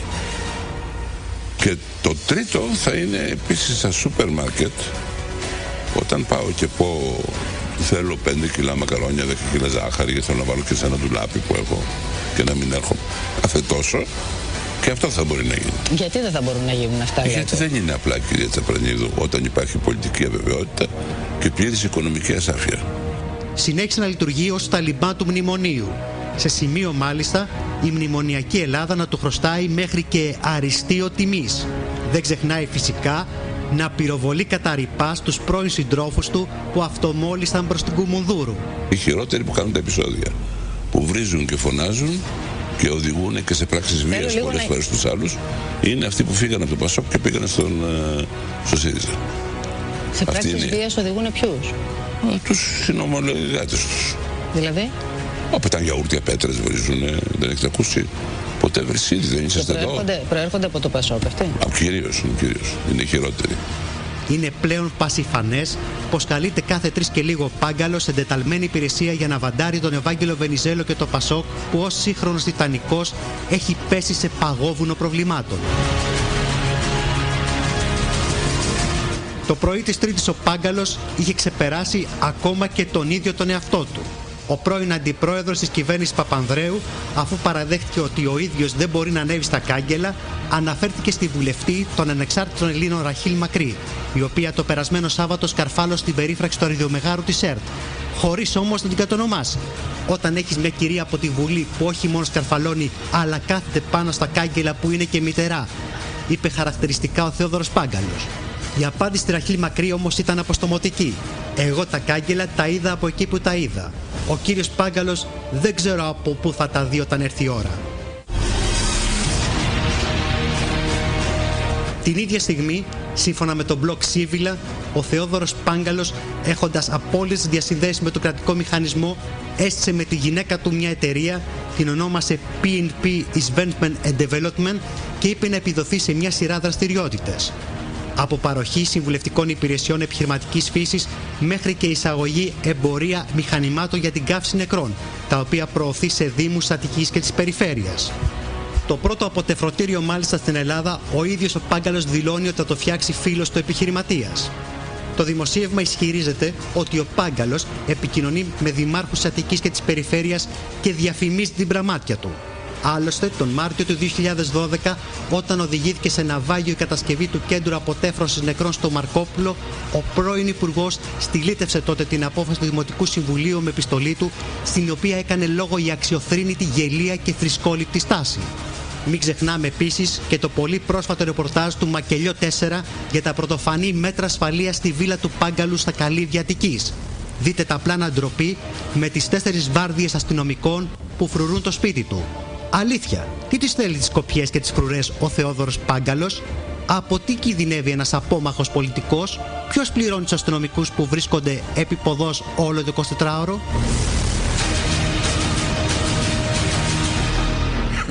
Μία και 26 πρώτα λεπτά. Ζητώ συγγνώμη, αλλά έχω και εγώ ένα πρόβλημα ίωσης. Ε, πριν σας δώσω το λόγο, ε, έχει, έχουν φυγεί πολλά θέματα στο ρεπορτάζ αυτό, το πολύ καλό ρεπορτάζ του κ. Τερζή. Ακούστε λίγο κάτι. Έλαβα το μεσημέρι ένα μήνυμα για τους μασόνους, τους οποίους δεν τους έχω σε καμία εκτίμηση. Γιατί δεν λένε ότι είναι μασόνοι. Τι είναι η μασονία στην Ελλάδα; Κάτι το επιλήψιμο. Όταν είσαι μασόνος πρέπει να δώσεις την πορεία και εφόσον σε αναδείξουν. Ναι, είναι κάτι επιλήψιμο. Άρα δεν κυριαρχείσαι του εαυτού σου. Δεν κυριαρχείσαι του εαυτού σου. Ανήκεις σε άλλους. Θα τα συζητήσουμε.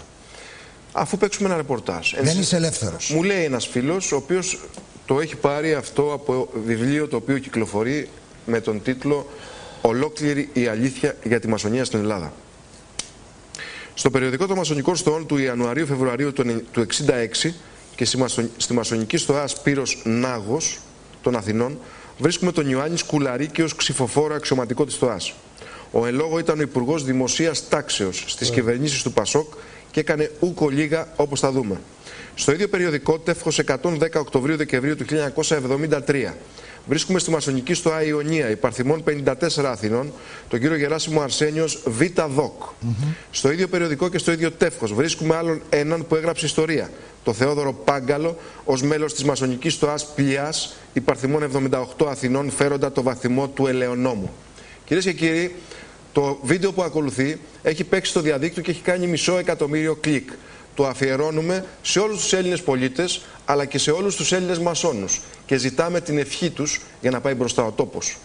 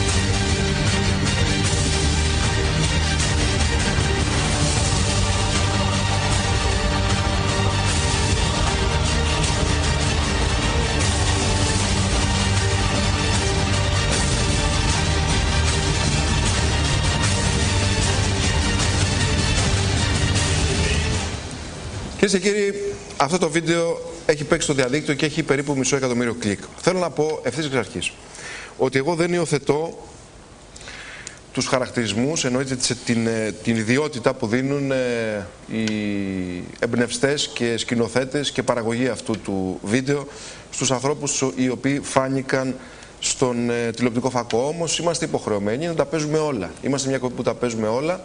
Όποιος από αυτούς του κυρίους θεωρεί ότι δεν ανήκει σε αυτό που του καταμαρτυρούν και του καταλογίζουν βεβαίως και θίγεται, θεωρείται ότι θίγεται, να μας πάρει τηλέφωνο και ή να ε, προβάλλει την άποψή του στο YouTube ε, εκφράζοντας τις ενστάσεις του και τις διαμαρτυρίες του για αυτό το οποίο ε, είδαν οι φίλοι τηλεθεατές. Όμως είμαι υποχρεωμένος να το παίξω. Για την ορθή Βεβαίως, ό,τι θέλετε και ακούω τώρα σφαιρικά τις Στην πλειοψηφία είδα ήταν από εκδηλώσεις διαφόρων, διάφορων ροταριανών ομίλων. Ναι. Άρα δηλαδή πρόκειται για, για το Rotary Club και όχι για στοέ τεκτονικές. Δεν, δεν μπόρεσα να διακρίνω κάτι τέτοιο. Όχι, οι πρώτε ήταν στοέ. Όπου ο Ρατριανό όμιλος ε, είναι ο, ε, επαγγελματική περισσότερο όμιλη και δεν σημαίνει ότι ε, στο ρόλο του ομιλητή είναι κάποιος μέλος του Ρόταρι. Προσκαλούν και κάνουν διάφορες ομιλίες. Έχουν σχέση οι Ρωταριανοί, γιατί ρωτάει πολλοί κόσμος με, με τις μασονικές στοέ, κύριε Σαράκη. Αυτό, από την ε, γνώση που έχετε διαβάζοντας τα βιβλία. Φαντάζομαι, φαντάζομαι ότι όπως μπορεί, ε, τέκτορε μπορεί να είναι και μέσα στους δημοσιογράφους, τέκτορε μπορεί να είναι μέσα στους δικηγόρους, στους επιχειρηματίες. Φαντάζομαι ότι μπορεί και, και σε, διάφορα, και, και σε διάφορα άλλες σωματεία.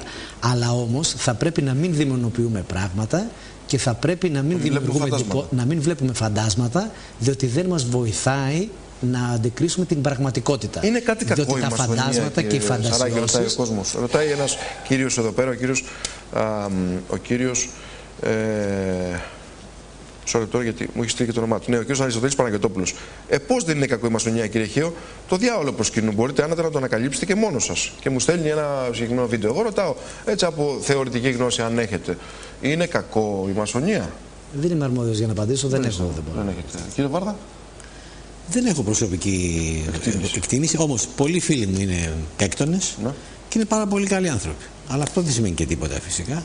Ναι. Το ότι δεν μπορείτε να μάθετε τι γίνεται εκεί πέρα αν δεν γίνετε τέκτον είναι ίσως το μόνο, να το πω έτσι, γκρίζο σημείο.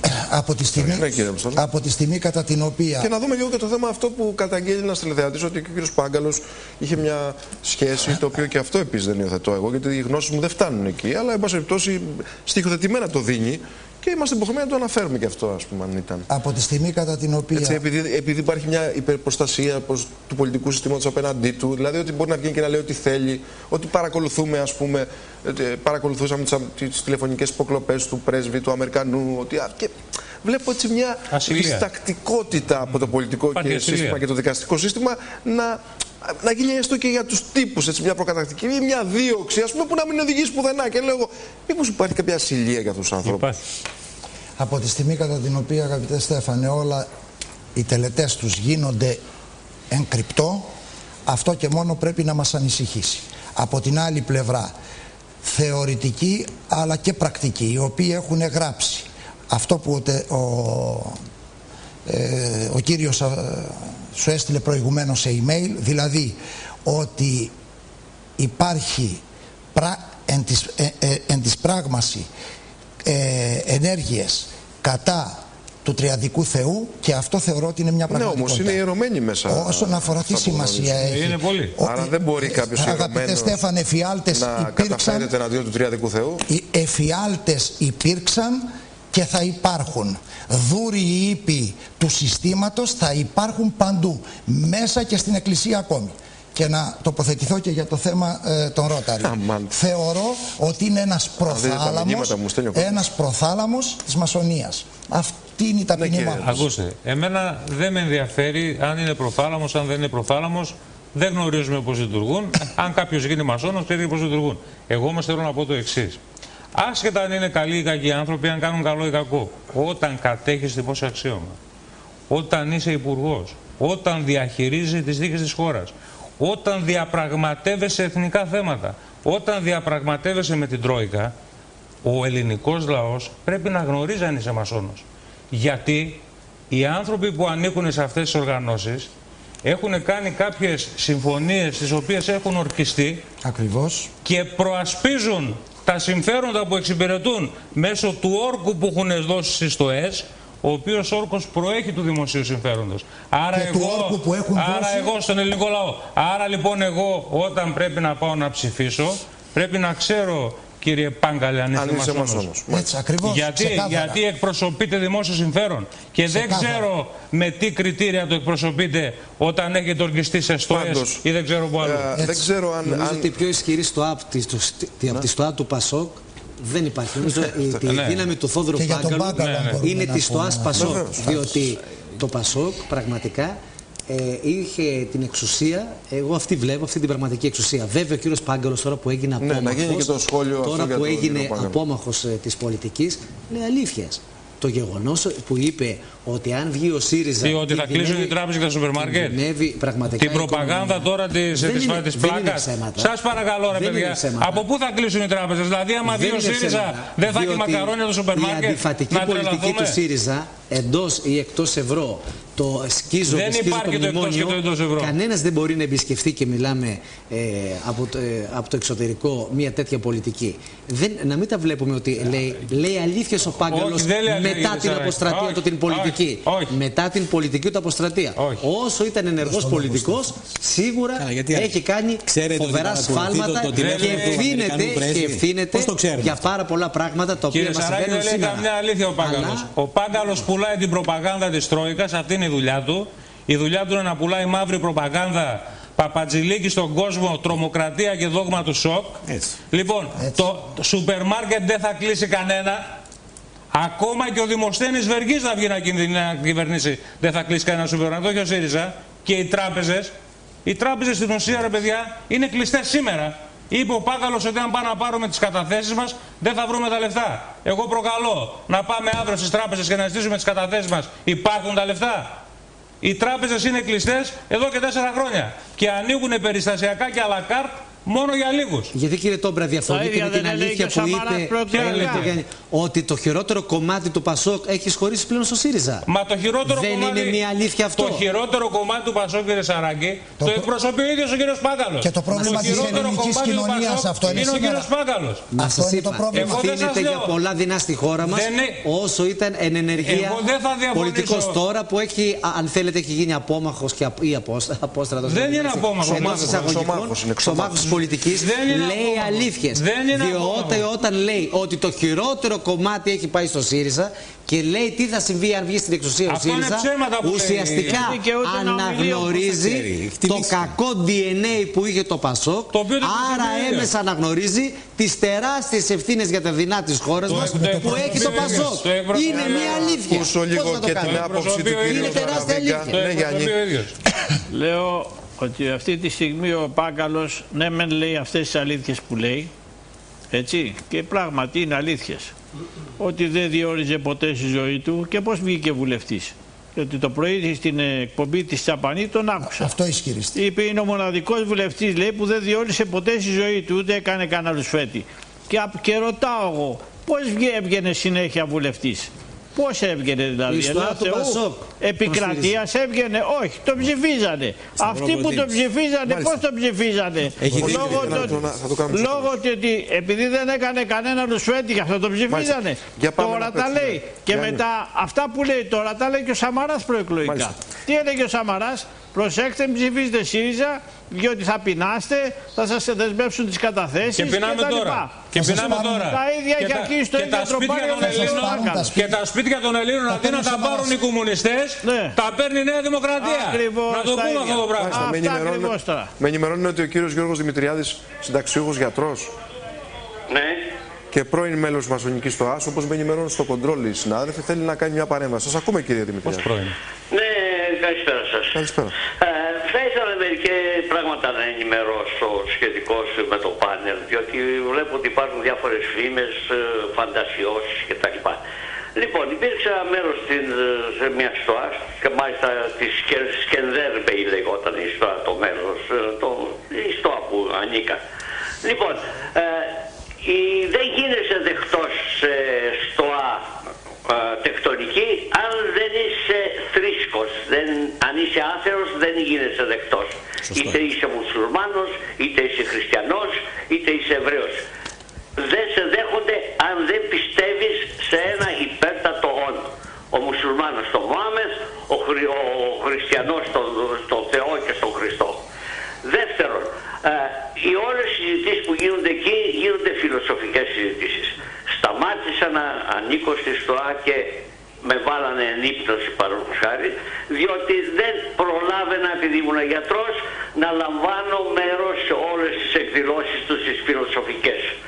Οι, οι, οι διαλέξεις που γίνονται είναι καθαρώς φιλοσοφικές διαλέξεις, ανταλλάσσονται απόψεις, κάνουν, μαζεύουν ε, μπορούμε να κρυφά ορισμένος με μια συνεισφορά και κάνουν αγαθοεργίες ανώνυμες.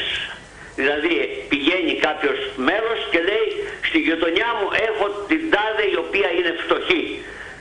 Θέλουν να τη βοηθήσουν. Α, είναι, είναι, δηλαδή είναι, είναι μια φιλανθρωπική...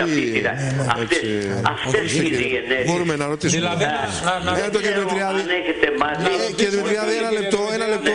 Έχουμε κάποιες, έχουμε κάποιες απορίες. Μας λέτε δηλαδή ότι οι μασονικές ΕΕ στην ουσία είναι φιλανθρωπικά ιδρύματα όχι, ε, και φορείς που οργανώνουν διαλέξεις. Όχι, όχι. Ακούστε με να, να σας ρωτήσω. Δεν είναι και αυτές. Αυτή είναι η μία από τις ενέργειες.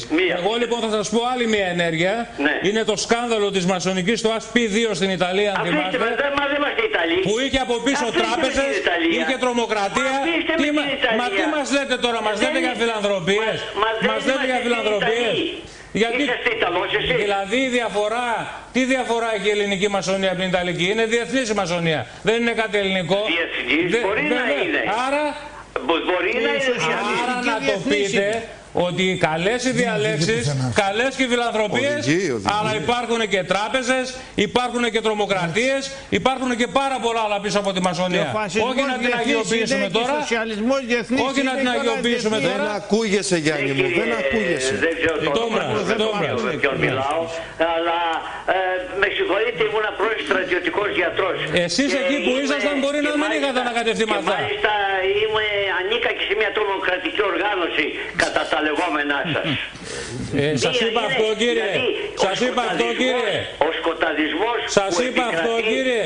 Επειδή γίνονται οι συγκεντρώσεις εν κλειστό και επειδή ο κόσμος είναι περίγυρος και δεν μπορεί να λύσει τις, ε, τις απορίες του. Μα εγώ δεν σας μιλάω με Εγώ είχα απορίες. Τη γυναίκα μου η οποία μου έλεγε δεν σας χωνεύω διότι έχετε μυστικά. Εγώ δεν σας μιλάω με απορίες κύριε, εγώ Με σας μιλάω με καταλάβατε. γεγονότα.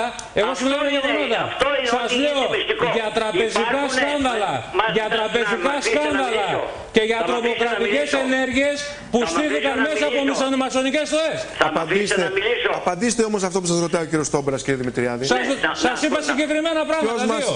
Εγγυάται Τι ότι θέλετε; αυτά δεν γίνονται και στην Ελλάδα σε επίπεδο αποσταθεροποίησης. Αυτό ρωτάμε. Ναι. Και να σας θυμίσω ακόμα κάτι κύριε Δημητριάδη. και θα σας Όχι, δώσουμε- όχι, σε- όχι, ένα λεπτό, ένα λεπτό. Να σας, θέλετε, θυμι- η να σας ερώτηση δεν θυμίσω άφησα. κάτι ακόμα κύριε Δημητριάδη. Ναι. Γιατί εσείς φαίνεστε ένας άνθρωπος φιλοσοφημένος. Ότι κατηγορήθηκαν συγκεκριμένες μασονικές στοές στη Βόρεια Ελλάδα και συγκεκριμένα στη Μακεδονία οι οποίες έπαιξαν πολύ βρώμικο παιχνίδι την περίοδο του 40-44 με το Σλάβο-Μακεδονικό. Δεν το γνωρίζω. Ε, Το γνωρίζω εγώ. Δεν το Υπήρξε γνωρίζω αλληλογραφία αυτό, Ελλήνων αλλά- μασόνων με, με, με, με Σκοπιανούς, Βούλγαρους και Ναι. Ιουγκοσλάβους του Τίτο για να προσαρτηθεί η Μακεδονία στους, Σλαβ, στους Σλάβους Ναι. και στους Βουλγάρους. Ναι, υπάρχει Αυτά μια άλλη... τα έχετε ακούσει υπάρχει, καθόλου; Υπάρχει και κάτι άλλο. Υπάρχει και κάτι άλλο το οποίο πιθανόν να μην το έχετε ακούσει εσείς. Όταν ήταν ετοιμαζόντουσαν οι Βούλγαροι να έρθουν κατά την απελευθέρωση της Θεσσαλονίκης να καταλάβουν την Θεσσαλονίκη. Η κάποια τεκτονική στοά βουλγάρικη ειδοποίησε την ελληνική τεκτονική σκορά και προλάβαν οι Έλληνες να μπουν στη Θεσσαλονίκη πιο, πιο νωρίς. Πείτε, κύριε Τέλος πάντων, Βαρδάρης. σε όλες τις περιπτώσεις και Πες, πιθανόν να ο έχετε Λένιν δίκιο αυτό που ήτανε. είπατε εσείς Ο Λένιν προηγουμένως, ήτανε. Ορίστε, αλλά κύριε. σε όλες Ο τις Μάρξ περιπτώσεις ήτανε. υπάρχουν Και οι καλοί Ήτανε υπάρχουν μασόνοι. και οι κακοί. Τώρα τα λέτε καλά. Ρωτήστε, κύριε Υπάρχουν Αποστόλη. Ήτανε και- μασόνοι. Κύριε Δημητριάδη, ρωτάει ο κύριος Δημητριάδη. Αποστόλου. Κύριε Δημητριάδη. Ναι, ε, ο κύριος Βάρδας. ορίστε. Βάρδας Μιχάλης λέγομαι. Καλησπέρα σας. Ναι, και... Για το θέμα της απελευθέρωσης Θεσσαλονίκης, ο πάπος του σημερινού Υπουργού Εξωτερικών, Πάγκαλος τότε, στρατιωτικός, αναφέρει. σύλλογος. Ακριβώς. Αναφέρει ότι η απελευθέρωση Θεσσαλονίκης πρόλαβε να την κάνει ο ελληνικός στρατός από κάποια πληροφορία που έδωσε ένας ε, ε, ελληνικής καταγωγής αξιωματικός του βουλγαρικού στρατού, Νίκο είναι το όνομά του, ο οποίος υπηρετών στο βουλγαρικό στρατό, σε κάποιο τάγμα στην περιοχή Καβάλας, άκουσε από ε, βουλγάρους αξιωματικούς οι οποίοι είχαν μεθύσει λίγο, ότι διατάχθη ο, ο στρατηγός Τάδε, δεν θυμάμαι το όνομά του Βούλγαρος, να στραφεί επιγόντως και να βαδίσει κατά της Θεσσαλονίκης και ενημέρωσε τον Έλληνα πρόξενο της Αγγλίας και της Γαλλίας στην Καβάλα, ο οποίος με τη σειρά του επικοινώνησε με το Ελληνικό Υπουργείο των Εξωτερικών και ενημερώθηκε φυσικά μέσω ο Πρωθυπουργός, ο οποίος έδωσε και εντολή στον Αρχιστράτηγο να στραφεί, να καταλάβει τη Θεσσαλονίκη πριν προλάβουν οι Βούλγαροι. Ναι. Δεν νομίζω ότι εμπλέκονται τεκτονικές στο ΕΣΕ. Ναι, δεν το νομίζετε εσείς, αλλά να έχετε υπόψη σας το εξής, ότι οποιαδήποτε με, επιτρέπετε, οποιαδήποτε ενέργεια γίνεται μέρο των uh, τεκτώνων δεν συνηθίζουν να το διατυμπανίζουν. Δεν συνηθίζουν να διατυμπανίζουν παρασχάρι αυτό που θα έχει για το θέμα το φιλανθρωπικό. Γιατί δεν τους συμφέρει. Μυστικό. Ούτε τις τράπεζες διατυμπανίζουν. γιατί δεν τους συμφέρει. Δηλαδή η Ρότσιλ, για, να, για να γνωρίζετε, η οικογένεια που ελέγχει το τραπεζικό σύστημα όλου του πλανήτη, αφήστε με να το πω. Ποιο το Βατικανό. Η οικογένεια Ρότσιλ, σας λέω συγκεκριμένα, που ελέγχει το τραπεζικό σύστημα όλου του πλανήτη, του ελέγχει μέσα, μέσα από ένα δίκτυο μασονικών στοών. Δεν το γνωρίζετε αυτό; Δεν το γνωρίζω. Ε, βέβαια, γιατί, γιατί, το έχουν κρυφό. Είναι και αυτοί από τις αγαθοεργίες που δεν λένε. Να καταθέσω επίσης ναι. ότι αυτό που είπα, ότι είσαι υποταγμένος πλέον, αλλά χέρι τεράστιας βοήθειας από τους πάντες. Να μας πει ο κ. Δημητριάδη, δεν συμβαίνει αυτό. Γι' αυτό το λόγο, πρωθυπουργοί και πρόεδροι κρατών σε πάρα πολλά ε, κράτη, διότι ο μασονισμός και ο τεκτονισμός είναι διεθνής, δεν είναι ελληνικό φρούτο, ναι. έχουν γίνει πρόεδροι και πρωθυπουργοί. Ο Τζορτζ Μπούς ναι. μετέχει στην πιο σκληροπυρηνική οργάνωση, ο Στάκη Κόκαλα. Λοιπόν, και το έχει αποδεχθεί. Ο Μάρξ, ο Λέλιν ήταν τέκτονες. Ναι. Λοιπόν, δεν έχουν χρώμα κομμουνισμός, σοσιαλιστής, φασίστας, οτιδήποτε. Εφόσον μπαίνεις εκεί, θα εξυπηρετήσεις του διεθνισμού τα συμφέροντα σε κάποια στιγμή. Και αυτοί προσκυνούν και εκτελούν τις επιταγές των ξένων. Όπως σήμερα στην πατρίδα μας έχουμε τέτοιους οι οποίοι πράγματι είναι πυθύνια όργανα του μερκελισμού. Ο κύριος, ε, με ενημερώνει από το κοντρόλ, ο κύριος Γιώργος. Ούτε, ούτε προσκύνησα όχι εσάς. Δεν μιλάμε για εσάς. Όχι από κανέναν για οποιαδήποτε ιδέα μου. Δεν λέμε για εσάς. Αυτή είναι η δικιά μου άποψη. Μάλιστα. Κύριε Δημητριάδη, ακούστε λίγο. Μείνετε ναι. στη γραμμή, είστε πολύ χρήσιμος. Ναι. Ε, ο κύριος ε, Γιώργος Ιωάννου. Ε, λέ, ισχυρίζεται ότι είναι μέλος της μεγάλης, ενεργό μέλος της μεγάλης τοάς της Ελλάδος. Τον ε, καλησπέριζουμε, τον καλημερίζουμε μάλλον. Ε, μ' ακούτε, καλησπέρα σας. Καλημέρα κύριε. Λοιπόν, ε, είμαι ενεργό μέλος, είμαι διδάσκαλος συγκεκριμένα στη Μεγάλη Στοά της Ελλάδος. Το μοναδικό τεκτονικό ίδρυμα το οποίο είναι παγκοσμίως αναγνωρισμένο. Ναι. Ε, και είμαι και ενεργό μέλος της παγκόσμιας, ε, του παγκόσμιου τεκτονισμού θα μπορούσα να πω, γιατί ταξιδεύω συχνά, έχω γνωρίσει ε, το τεκτονισμό σε παγκόσμιο επίπεδο και είμαι ανοιχτός σε όποια ερώτηση θέλετε να σας πω, να σας ενημερώσω γιατί σίγουρα υπάρχουν μεγάλες προκαταλήψεις ιδιαίτερα στην Ελλάδα Μάλιστα. και επειδή όπως σας είπα γνωρίζω τον τεκτονισμό πάρα πολύ καλά στο εξωτερικό. Πού στεγάζεται η μεγάλη στοά της Ελλάδος αγαπητέ κύριε Ιωάννου; Ορίστε. Πού στεγάζεται, πού έχει... Η μεγάλη στοά της Ελλάδος στεγάζεται στην Αχαρνό, αν έχετε υπόψη σας. Έχω πρόσβαση εκεί εγώ να πάω. Ε, στην Αχαρνών εννοείται στο γνωστό, στο γνωστό, στο γνωστό κτίριο. κτίριο. Ναι, το πολύ συζητημένο. Είναι ελεύθερη είσοδος. Ορίστε, ένα, ένας Η είσοδο είναι ελεύθερη. Δυστυχώς με τα κλειστά παράθυρα. Και... Η είσοδος είναι ελεύθερη, μπορεί να συμμετέχει εκεί ο καθένας να παρακολουθήσει. Αυτό είναι μυστικές. να μας το πει. Το ξέρω. Ρωτήστε τον κύριο Άννο. Μπορεί, μπορεί κάποιος να συμμετέχει στις συζητήσεις, τις φιλοσοφικές και όσες γίνονται, ό,τι όποιο επίπεδο γίνονται. Μπορεί κάποιος, εγώ, ο Α, ο Β, να έρθει, είναι ανοιχτές οι πόρτες. Μπορείτε, κοιτάξτε, υπάρχει τεκτονικό μουσείο, σας πληροφορώ και τεκτονική βιβλιοθήκη. Μπορεί ένας άνθρωπος ο οποίος δεν είναι μέλος μέσα στη ΣΤΟΑ να ζητήσει να έχει πρόσβαση και να παρακολουθήσει το μουσείο και επίσης να σας πληροφορήσω ότι το υπάρχει το επίσημο βεβαίως. Είναι το grandlodge.gr. Ναι, ναι, το γνωρίζω. Να ρωτήσω κάτι, κύριε Ιωάννου. ανοιχτό σε όλο το Κύριε Ιωάννου, να ρωτήσω. Είναι μπροστά, Όχι, εγώ θέλω να μπροστά ρωτήσω από την κουρτίνα. κάποια άλλα. Εγώ λέω πίσω από την κουρτίνα. Κάποια που άλλα. κρύβεται. Κύριε Ιωάννου, να ρωτήσω, επειδή κύριε Ιωάννου τα γνωρίζω αυτά. Τα γνωρίζω όμως αυτά, είναι γνωστά. Κάτι άλλο θέλω να ρωτήσω εγώ. Ναι. Μέλη της ελληνικής κυβέρνησης είναι μέλη της μασονικής τοάς της Ελλάδος; Κοιτάξτε, σε κάποιες ε, επίσης πρόσφατες συζητήσεις που είχαμε υπήρξε μια αναφορά ε, στους τέκτονες και είπαμε τα εξής ε, θέματα, ότι ήταν μια βασική ερώτηση πόσους ε, βασιλιάδες, πρίγκιπες, πρωθυπουργούς, προέδρους δημοκρατίας κτλ. έχει γνωρίσει ένα μέλος μέσα στις στοές του. Η αλήθεια είναι ότι πάρα πολλοί τέκτονες, πάρα πολλά μέλη του τεκτονισμού είναι αξιόλογα, έχουν πετύχει αρκετά πράγματα. Εγώ άλλο σας ρώτησα, κύριε Ιωάννου, άλλο σας ρώτησα εγώ. Θα, θα σας απαντήσω. Ε, απαντήστε με όμως άμεσα, γιατί. Θα Άμεσα. σας απαντήσω σε αυτό που λέτε. Υπάρχουν πάρα πολλοί λοιπόν άνθρωποι οι οποίοι είναι καταξιωμένοι στον χώρο τους και την χάνει να έχουν και ισχυρές θέσεις στην κοινωνία. Ακόμα και ο κύριος που είχατε βγάλει πριν που ήταν γιατρός θεωρείται ότι είναι καταξιωμένος. Ναι, εγώ άλλο ρώτησα. Για υπουργούς και για πρωθυπουργούς. Αυτό ρώτησα. Αυτό Στο ρώτησα. διατά θα πάτε στην ταμπαγκέρα. Μην μας λέτε για τους γιατρούς. Γνωρίζετε αν υπάρχουν. Υπάρχουν, Εσείς το ξέρετε. Όταν πετύχουν ε, αυτό, δηλαδή το στόχο τους, αν ήταν ο στόχος να γίνουν πολιτικοί, δυστυχώς σταματάνε να συμμετέχουν στις Α, σταματάνε. γιατί φοβούνται, φοβούνται δυστυχώς Φοβούνται το χείο, μην τους βγάλεις στην τηλεόραση. Μπο- μπορείτε να μας πείτε, μπορείτε να μας πείτε, Ξέρετε κάτι, ε, στην Αγγλία συγκεκριμένα Μισό λεπτό σας παρακαλώ. Μπορείτε να μας πείτε κάποιους πολιτικούς οι οποίοι ήταν τέκτονες αλλά στην πορεία επειδή η πολιτική τους καριέρα ανέβηκε φύγαν από τη ΣΤΟΑ. Θα σας πω κάτι. Μπορείτε να μας πείτε μερικούς. Δεν μπορεί. Στον τεκτονισμό απαγορεύεται να πούμε ο ένας τέκτονας για τον άλλον αν είναι τέκτονας. Μπορούμε να μιλήσουμε μόνο για τον εαυτό μας. Αυτό μας ορίζουν μέσα και οι όρκοι που αναφέρατε πριν και οι κανονισμοί ότι και είναι καθαρά θέμα Γιατί υπάρχει; Άρα, άρα επιβεβαιώνετε τους όρκους. Εννοείται πως υπάρχουν όρκοι. Εννοείται πως υπάρχουν όρκοι, ακούστε. Και γιατί απαγορεύετε να δημοσιοποιήσετε τα ονόματα των τεκτώνων; Τα ονόματα των επιφανών τεκτώνων υπάρχουν αναρτημένα. Οι πολύ επιφανείς τέκτονες μπορείτε να τα βρείτε στο grandlodge.gr να δείτε πολλούς, πολλούς πρωθυπουργούς, προέδρους δημοκρατίας, αρχιεπισκόπους. Ο άνθρωπος είναι ειλικρινής. Είναι ειλικρινής. Αυτά που λέγαμε.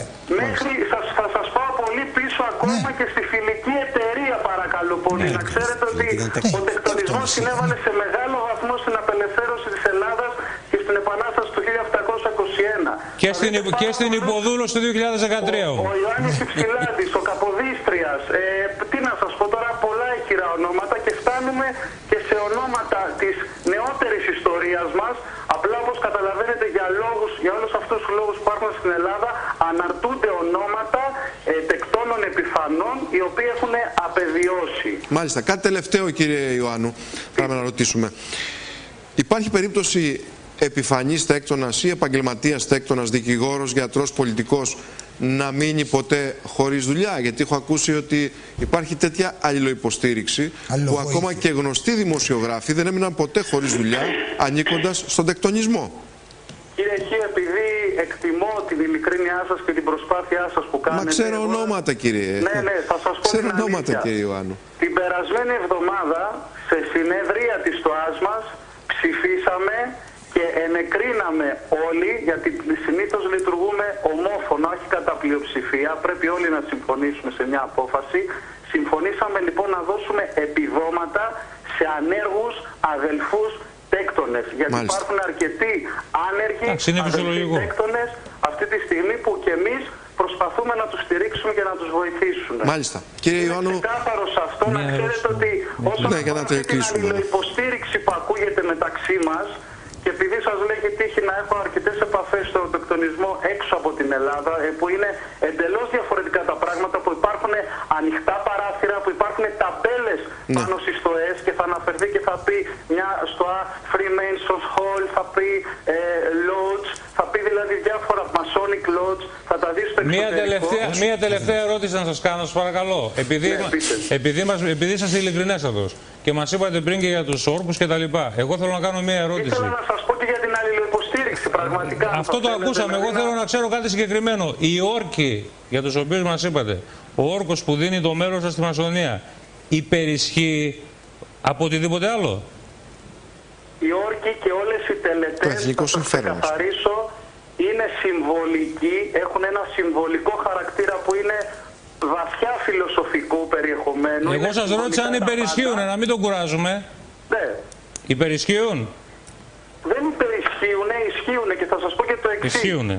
Είμαστε, είμαστε πάνω απ' όλα Έλληνες, γιατί ναι μεν είναι παγκόσμιος ο τεκτονισμός, αλλά νομικά και διοικητικά η κάθε χώρα έχει τη δική της Μάλιστα. δικούς της κανονισμούς. Κύριε Ιωάννου, επειδή δεν έχω, επειδή δεν έχω, δεν έχω άλλο χρόνο, επειδή δεν έχω άλλο χρόνο, κύριε Ιωάννου, πρέπει να κλείσουμε, είναι δύο η ώρα. Ειλικρινής ο κύριος. Ο μέγας, ο μέγας τέκτον αυτή τη στιγμή στην Ελλάδα ποιος είναι; Ο Μέγας Διδάσκαλος εννοείται. Ναι, ο μέγας δάσκαλος. Είναι ο Γεώργιος Βασιλογιώργης και αναφέρεται το όνομά του και η ιδιότητά του πάνω στο site επίσημα. Τι, τι επαγγέλλεται; Δικηγόρος. Ο κύριος Μανέας, Και αυτός είναι από τα πιο υψηλά στελέχη που υπήρξαν στη νεότερη ιστορία του τεκτονισμού. μάλιστα. Έκανε για αρκετά χρόνια και επίσης να σας πω ότι. Δικηγόρος γνωστών εκδοτών και δημοσιογράφων που άφησαν τους δημοσιογράφους Στη συνάντηση απλήρωτους του τεκτονισμού και βγάλαν εφημερίδα τώρα. που υπήρξε για το, για το μακεδονικό ζήτημα, για το όνομα της Μακεδονίας να σας Και ένας από τους αναφέρω λόγους που ε, χάσαμε τη δουλειά μας στο κανάλι που δουλεύαμε. Βγήκε ο κύριος Μανέας στους άλλους αδελφούς των άλλων χωρών και ειδικά στους Άγγλους και τους Αμερικάνους που Ναι, ναι. πιέζανε να δεχτεί ο ελληνικός τεκτονισμός να αναφερθεί το όνομα Μακεδονία ε, σήκωσε το μπαϊράκι ψηλά την ελληνική σημαία και είπε ε, την εξής κουβέντα. Ναι. Εμείς πρώτα είμαστε Έλληνες και μετά είμαστε τέκτονες. Και δεν θα συμβάλλουμε και δεν Μάλιστα. θα συμφωνήσουμε. Άρα λοιπόν οι κατηγορίες που σας, οι κατηγορίες που σας προσάπτουν περί εθνικής μειοδοσίας θεωρείτε ότι είναι απαράδεκτες και φυσικά δεν ανήκουν σε εσάς, έτσι; Κάθε εργασία με απόφαση, με απόφαση του Διοικητικού Συμβολίου της Μεγάλης Στράτης της Ελλάδος, κάθε Μάλιστα. εργασία Μάλιστα, σε κύριε. οποιαδήποτε στράτη της Ελλάδος τελειώνει με τον εθνικό ύμνο της Ελλάδας. Μάλιστα. Να σας ρωτήσω εγώ κάτι κύριε Ιωάννου. Ναι, Γιάννη, για να κλείσουμε. Τους School and Bonds τους ξέρετε κύριε Ιωάννου; Όλες αυτές και αυτό που είπατε πριν και η, η Λεύκη Μπίντελμπερ και όλοι αυτοί, και όλοι αυτοί. Ναι, αυτοί, αυτοί συγκεκριμένα οι Στην Schools Ιταλία and επίσης, γιατί Bonds είπατε για την, για την Ιταλική ΣΦΑ. έχουν αναδείξει κοσμοκράτορες. Θα σας πω ότι όλοι Όπως αυτοί, είναι ο George Bush. όλοι αυτοί δεν είναι, δεν είναι ελευθεροτεκτονισμός. Μάλιστα. Είναι άνθρωποι οι οποίοι έχουν ένα σύλλογο που μπορεί τον σύλλογο αυτό να τον ονομάζουν και στο άλλο. Μάλιστα. Κύριε Ιωάννου, κάτι τελευταίο από μένα. Επειδή είναι συνταξιούχος πια και δεν εμπλέκεται και ενεργά στην πολιτική, έχετε ακούσει μήπως αν υπάρχει εμπλοκή του κυρίου Πάγκαλου στις μασονικές στοές; Όχι. Δεν τον έχω συναντήσει ποτέ τον κύριο Πάγκαλο σε καμία αυτό. Υπάρχει κάποια στο ΑΠΙΑΣ ε, Πώς πλειά, πλειάδα. Ναι, πλιάδα. Υπάρχει στο. Υπάρχει στο Απλιάδα, αλλά μπορεί να μην είναι στο Α που ανήκει στη μεγάλη στοά της Ελλάδος. Θέλω δηλαδή να σας τονίσω Α, ότι μάλιστα. υπάρχουν, Εξωτερικού. υπάρχουν διάφορες, ε, ονομασίες. διάφορες συλλόγοι Μάλιστα, που έχουν πετύχει στην πορεία μας στην τεκτονική, οι οποίοι δυστυχώς χρησιμοποιούν το όνομα του τεκτονισμού για διαφημιστικούς κυρίως λόγους Μάλιστα. και για να Εκεί μαζεύουν είναι- υπάρχει κόσμο. ιδιότητα Γιάννη, δεν και έχουμε άλλο χρόνο. Δεν έχουμε άλλο χρόνο. Είναι Κύριε, ελαιονόμος Δεν εκεί, έχουμε άλλο είναι χρόνο. ελαιονόμος ο- Ελαιονόμος, ναι. Η, η Ή ιδιότητα γαστρονόμος. ελαιονόμος. Ή γαστρονόμος. Ε, ιδιότητα. Όλοι αυτοί είναι συμβολικοί ορισμοί. Τι σημαίνει ελαιονόμος, κύριε Ιωάννου. Ο ελαιονόμος είναι ο, ουσιαστικά ε, λειτουργεί σαν ταμεία των φιλανθρωπιών. Ταμεία στι φιλανθρωπίε ο κύριος Πάγκαλος. Κύριε Ιωάννου, θα χαρούμε. Και θα στη χαρούμε- Μασονία το ταμείο θα έχει ο χαρούμε κύριος πάρα Πάγκαλος. πολύ αν βεβαίως και εσεί. Πάγκαλος Ένα λεπτό, για έπρεπε να να- λέγεται γαστρονόμος. Μάλιστα. θα χαρούμε πάρα πολύ, κύριε Ιωάννου, αν, αν ποτέ τυχόν δεν θα κάνουμε μια εκπομπή για την ε, Μασονία, να είστε κοντά μας. Σας ευχαριστώ πολύ. Και εμεί, εκτός εάν έχετε πρόβλημα, εκτός εάν έχετε πρόβλημα να δείξετε το πρόσωπό σας στην τηλεόραση. Χριστό, Χριστών ηθών και είναι δεδομένο όπως το ανέφερε πριν και ο, ο γιατρός και είναι ξεκάθαρο ότι πρέπει να πιστεύει σε μια Μάλιστα. ανώτερη δύναμη. Εμείς την ονομάζουμε μεγάλο αρχιτέκτονα του σύμπαντος. Πρέπει να πιστεύουν στο υπέρτατο όν τον αρχιτέκτονα του Γιατί δεν σύμπαντος. το λέτε Θεό ή Χριστό, ας πούμε; Γιατί, γιατί μπορεί σε μια στοά, όπως ανέφερε και ο, ο αδερφός ας πούμε από πριν, ότι μπορεί να βρεθείς με έναν Εβραίο, μπορεί να βρεθείς με έναν Χριστιανό, με έναν Μουσουλμάνο και για να Πανθρησκεία. μην υπάρχει σύγχυση, Έτσι. υπάρχει αυτή η λογική και λέγεται μεγάλος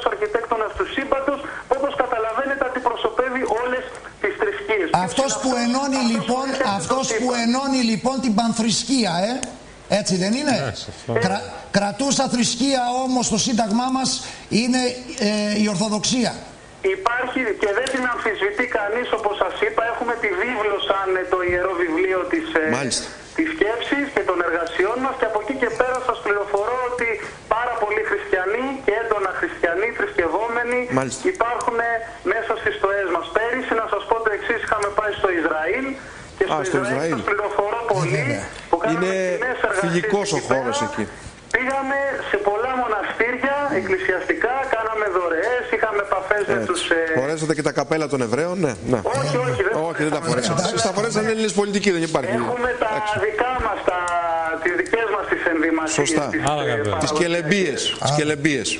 Γιατί πήγατε στο Ισραήλ και δεν πήγατε Η στο είδηση είναι ότι ο κύριος Κύριε Πάγκαλος Άλλου, σας είναι ευχαριστώ ελεονόμος. θερμός. Καλό ξημέρωμα. Η είδηση είναι ο ελεονόμος κύριος Πάγκαλος. Μάλιστα. Δηλαδή ταμείας. Ταμείας, Μάλιστα. Δεν- Να δώσω μια Αυτή είδηση είναι η που είδηση. μπορεί, για να που μπορεί να κλείσουμε, γιατί ωφελεί- μας να πήρε ο ωφελήσει. χρόνος. Ε, σήμερα στη μεγάλη γερμανική οικονομική εφημερίδα την Handelsblatt που είναι σαν την Express οικονομική εφημερίδα ε, σε περίοπτη θέση υπήρχε ε, το άρθρο, άρθρο το οποίο έλεγε ότι επειδή οι Έλληνες δεν έχουν προχωρήσει τις αποκρατικοποιήσεις γι' αυτό το λόγο προτείνουν στη γερμανική κυβέρνηση με έδρα το Λουξεμβούργο να μεταφέρουν εκεί το ΤΑΙΠΕΔ προκειμένου να πουλήσουν μέσω της Γερμανίας τα φιλέτα της Ελλάδος. Μάλιστα. Κυρίες και κύριοι, ευχαριστούμε θερμός που μας παρακολουθήσατε απόψε.